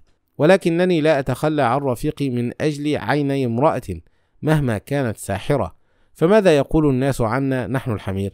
إننا سقطنا في الامتحان من أول نظرة ودخلت مع الشيخ الصالون وإن كان قلبي يلتف نحو مريمة فلما جلسنا وأتتنا كؤوس الشاي تترقرق وقد فاح عطرها قال الشيخ يا أبا عقيل. فأوقفه أبو عقيل بإشارة من يده تبيت عندنا ثلاث ليال وبعدها تقول حاجتك. وأبشر بما جئت من أجله ولو كان دونه عنقي. فرد الشيخ بتهذيب لولا طول السفر وعجلة الغاية لكان ما تقول يا أبا عقيل. ولكنني أعرفك نفسي وأرجو أن تسمح لي. وسكت الشيخ وسكت أبو عقيل فعرف أنه قبل منه. فأكمل أنا صديق صديقك أبو سلطان. فضيق أبو عقيل عينيه يستطلع خبر الشيخ لكنه لم يهتدي. فسأل من منهم؟ فرد أنا علي بن الحسين. فقهقه أبو عقيل وهو يرجع ظهره إلى الوراء. السكرجي. فانزعج الشيخ. إن الله يقبل التوبة ونحن البشر لا نقبلها يا أبا عقيل. فاعتذر كنت أمازحك. وهمست في أذن الشيخ. الناس لا ينسون ماضيك المخزي أيها الشيخ. فلكذني بكوعه وهو يشد على شفتيه. وأكمل. إن كان حدثك أبو سلطان حديثي فلا بد أنك أعرف قتلت امرأتك. لا تحزن. لقد مر على ذلك زمن طويل والله غفور رحيم. ليس من أجل حكاية امرأتي جئت بل من أجل ابنتي ابنتي مريم. وراح الشيخ يعد على أصابعه ثم يرفع بصره إلى الشيخ ويقول إنها تقترب من أربعين عاما. نعم. فلماذا تبحث عنها الآن؟ إنها ابنتي يا أبا عقيل وإنني أريد أن أمتع عيني برؤيتها ولو لمرة واحدة قبل أن أموت. وتهدج صوته وهو يقول العبارة الأخيرة. فرق له قلب أبي عقيل وقال قد سمعت من صديقي قصة فتاة يمكن أن تكون ابنتك. فتلهف الشيخ. أكمل. لقد قال لي إنها من الربة. فقلقلت الكلمة الشيخ. إنها من هناك. وإنها يتيمة. إنها كذلك. وإن عمتها زوجتها من رجل شماري في بعض نواحي معان. فارتج جسد الشيخ. وسمعت خفقات قلبه وقال ومن يكون الشمري هذا؟ لا أدري ولكن إذا ذهبت إلى شيخهم فإنه سيدلك. وخرجنا إلى مضارب شمر فرحب بنا شيخها وطاف بنا على الذين تزوجوا من بنات الفلاحين من أربعين سنة واحدا واحدا فما عثرنا على مريم بنت علي بن الحسين فيهن وكأنها لم تكن أو لم توجد أو لم تولد من الأساس. وقنط الشيخ قنوطا رأيته فيه كما لو كان داء وبيلا ودخله حزن ثقيل وغم طويل حل كل خالية في جسده وأصيب على إثر ذلك بضعف في البصر فراح يتهدى الطريق إذا مشى ومررنا بعدها على أكثر من مئة قرية وخريبة ومحلة نسأل عن مريم فما اهتدينا إليها وعدنا نجر أذيال الخيبة وبتنا على قوارع الدروب ولم يعد الشيخ يحفل بشيء مما يصيبه وهزل جسمه ونحل وزاغت نظراته ولم يعد يأكل شيئا. ولولا أنني كنت أرغمه على الأكل بوضع الطعام في فمه لمات من الجوع. وكنا إذا بتنا في مسجد أو أي مكان يهذي طوال الليل ولا أدري ما أفعل به. وأرغمته على أن نمر على مستشفى في طريق عودتنا فلما عينه الطبيب قال لي أين أهله؟ فقلت له إنني أهله. فقال لي بأسا الشيخ ميت ولا يرجى شفاؤه فنهقت في وجهه نهيقا غطى بسببه أذنيه وهو يقول أخرج من هنا أيها الحمار ورددت الموت لمن يبشر بالموت. وصلنا إلى صوفة بعد شهور طويلة والنفس يتردد ببطء في صدر الشيخ وطلب مني أول ما وصلنا إلى صوف أن ندخل المسجد. فلما صار على بابه نظر إلى التابوت وقال لقد حان أن أحمل فيه فهدأت من روعه وحلفته ألا يقول ذلك. وكان الوقت صلاة المغرب فصلينا في المسجد. ولم يقبل الشيخ أن نعود إلى ديارنا وأقسم علي ألا يخرج من هنا إلا على المحفة. ومكثنا إلى صلاة العشاء وتجمع أهل صوف حول الشيخ وطلبت منهم أن يقنعوه بالذهاب إلى بيته. فلما صرنا في بيته لم ينم. وجلست أحادثه وجعل يقول لقد كانت بضعة مني فكيف فرطت فيها؟ إنها أجمل طفلة رأتها عيناي. لقد كانت على وشك أن تقول لي يا بابا ولكن الشيطان أبى إلا أن يحرمني من ذلك. لقد كنت أتمنى أن يكون لي بعد رحيل ابنة تتذكر أباها البائس. حقا يا لي من بائس. ولما أخذ منه التعب كل ما أخذ النام فسمعته في النوم يهذي سامحيني يا مريم لقد ظلمتك وظلمت نفسي. سامحيني يا ابنتي. فلما طار غراب الليل وأقبل وجه الصباح كان الشيخ قد رحل عن هذه الفانية.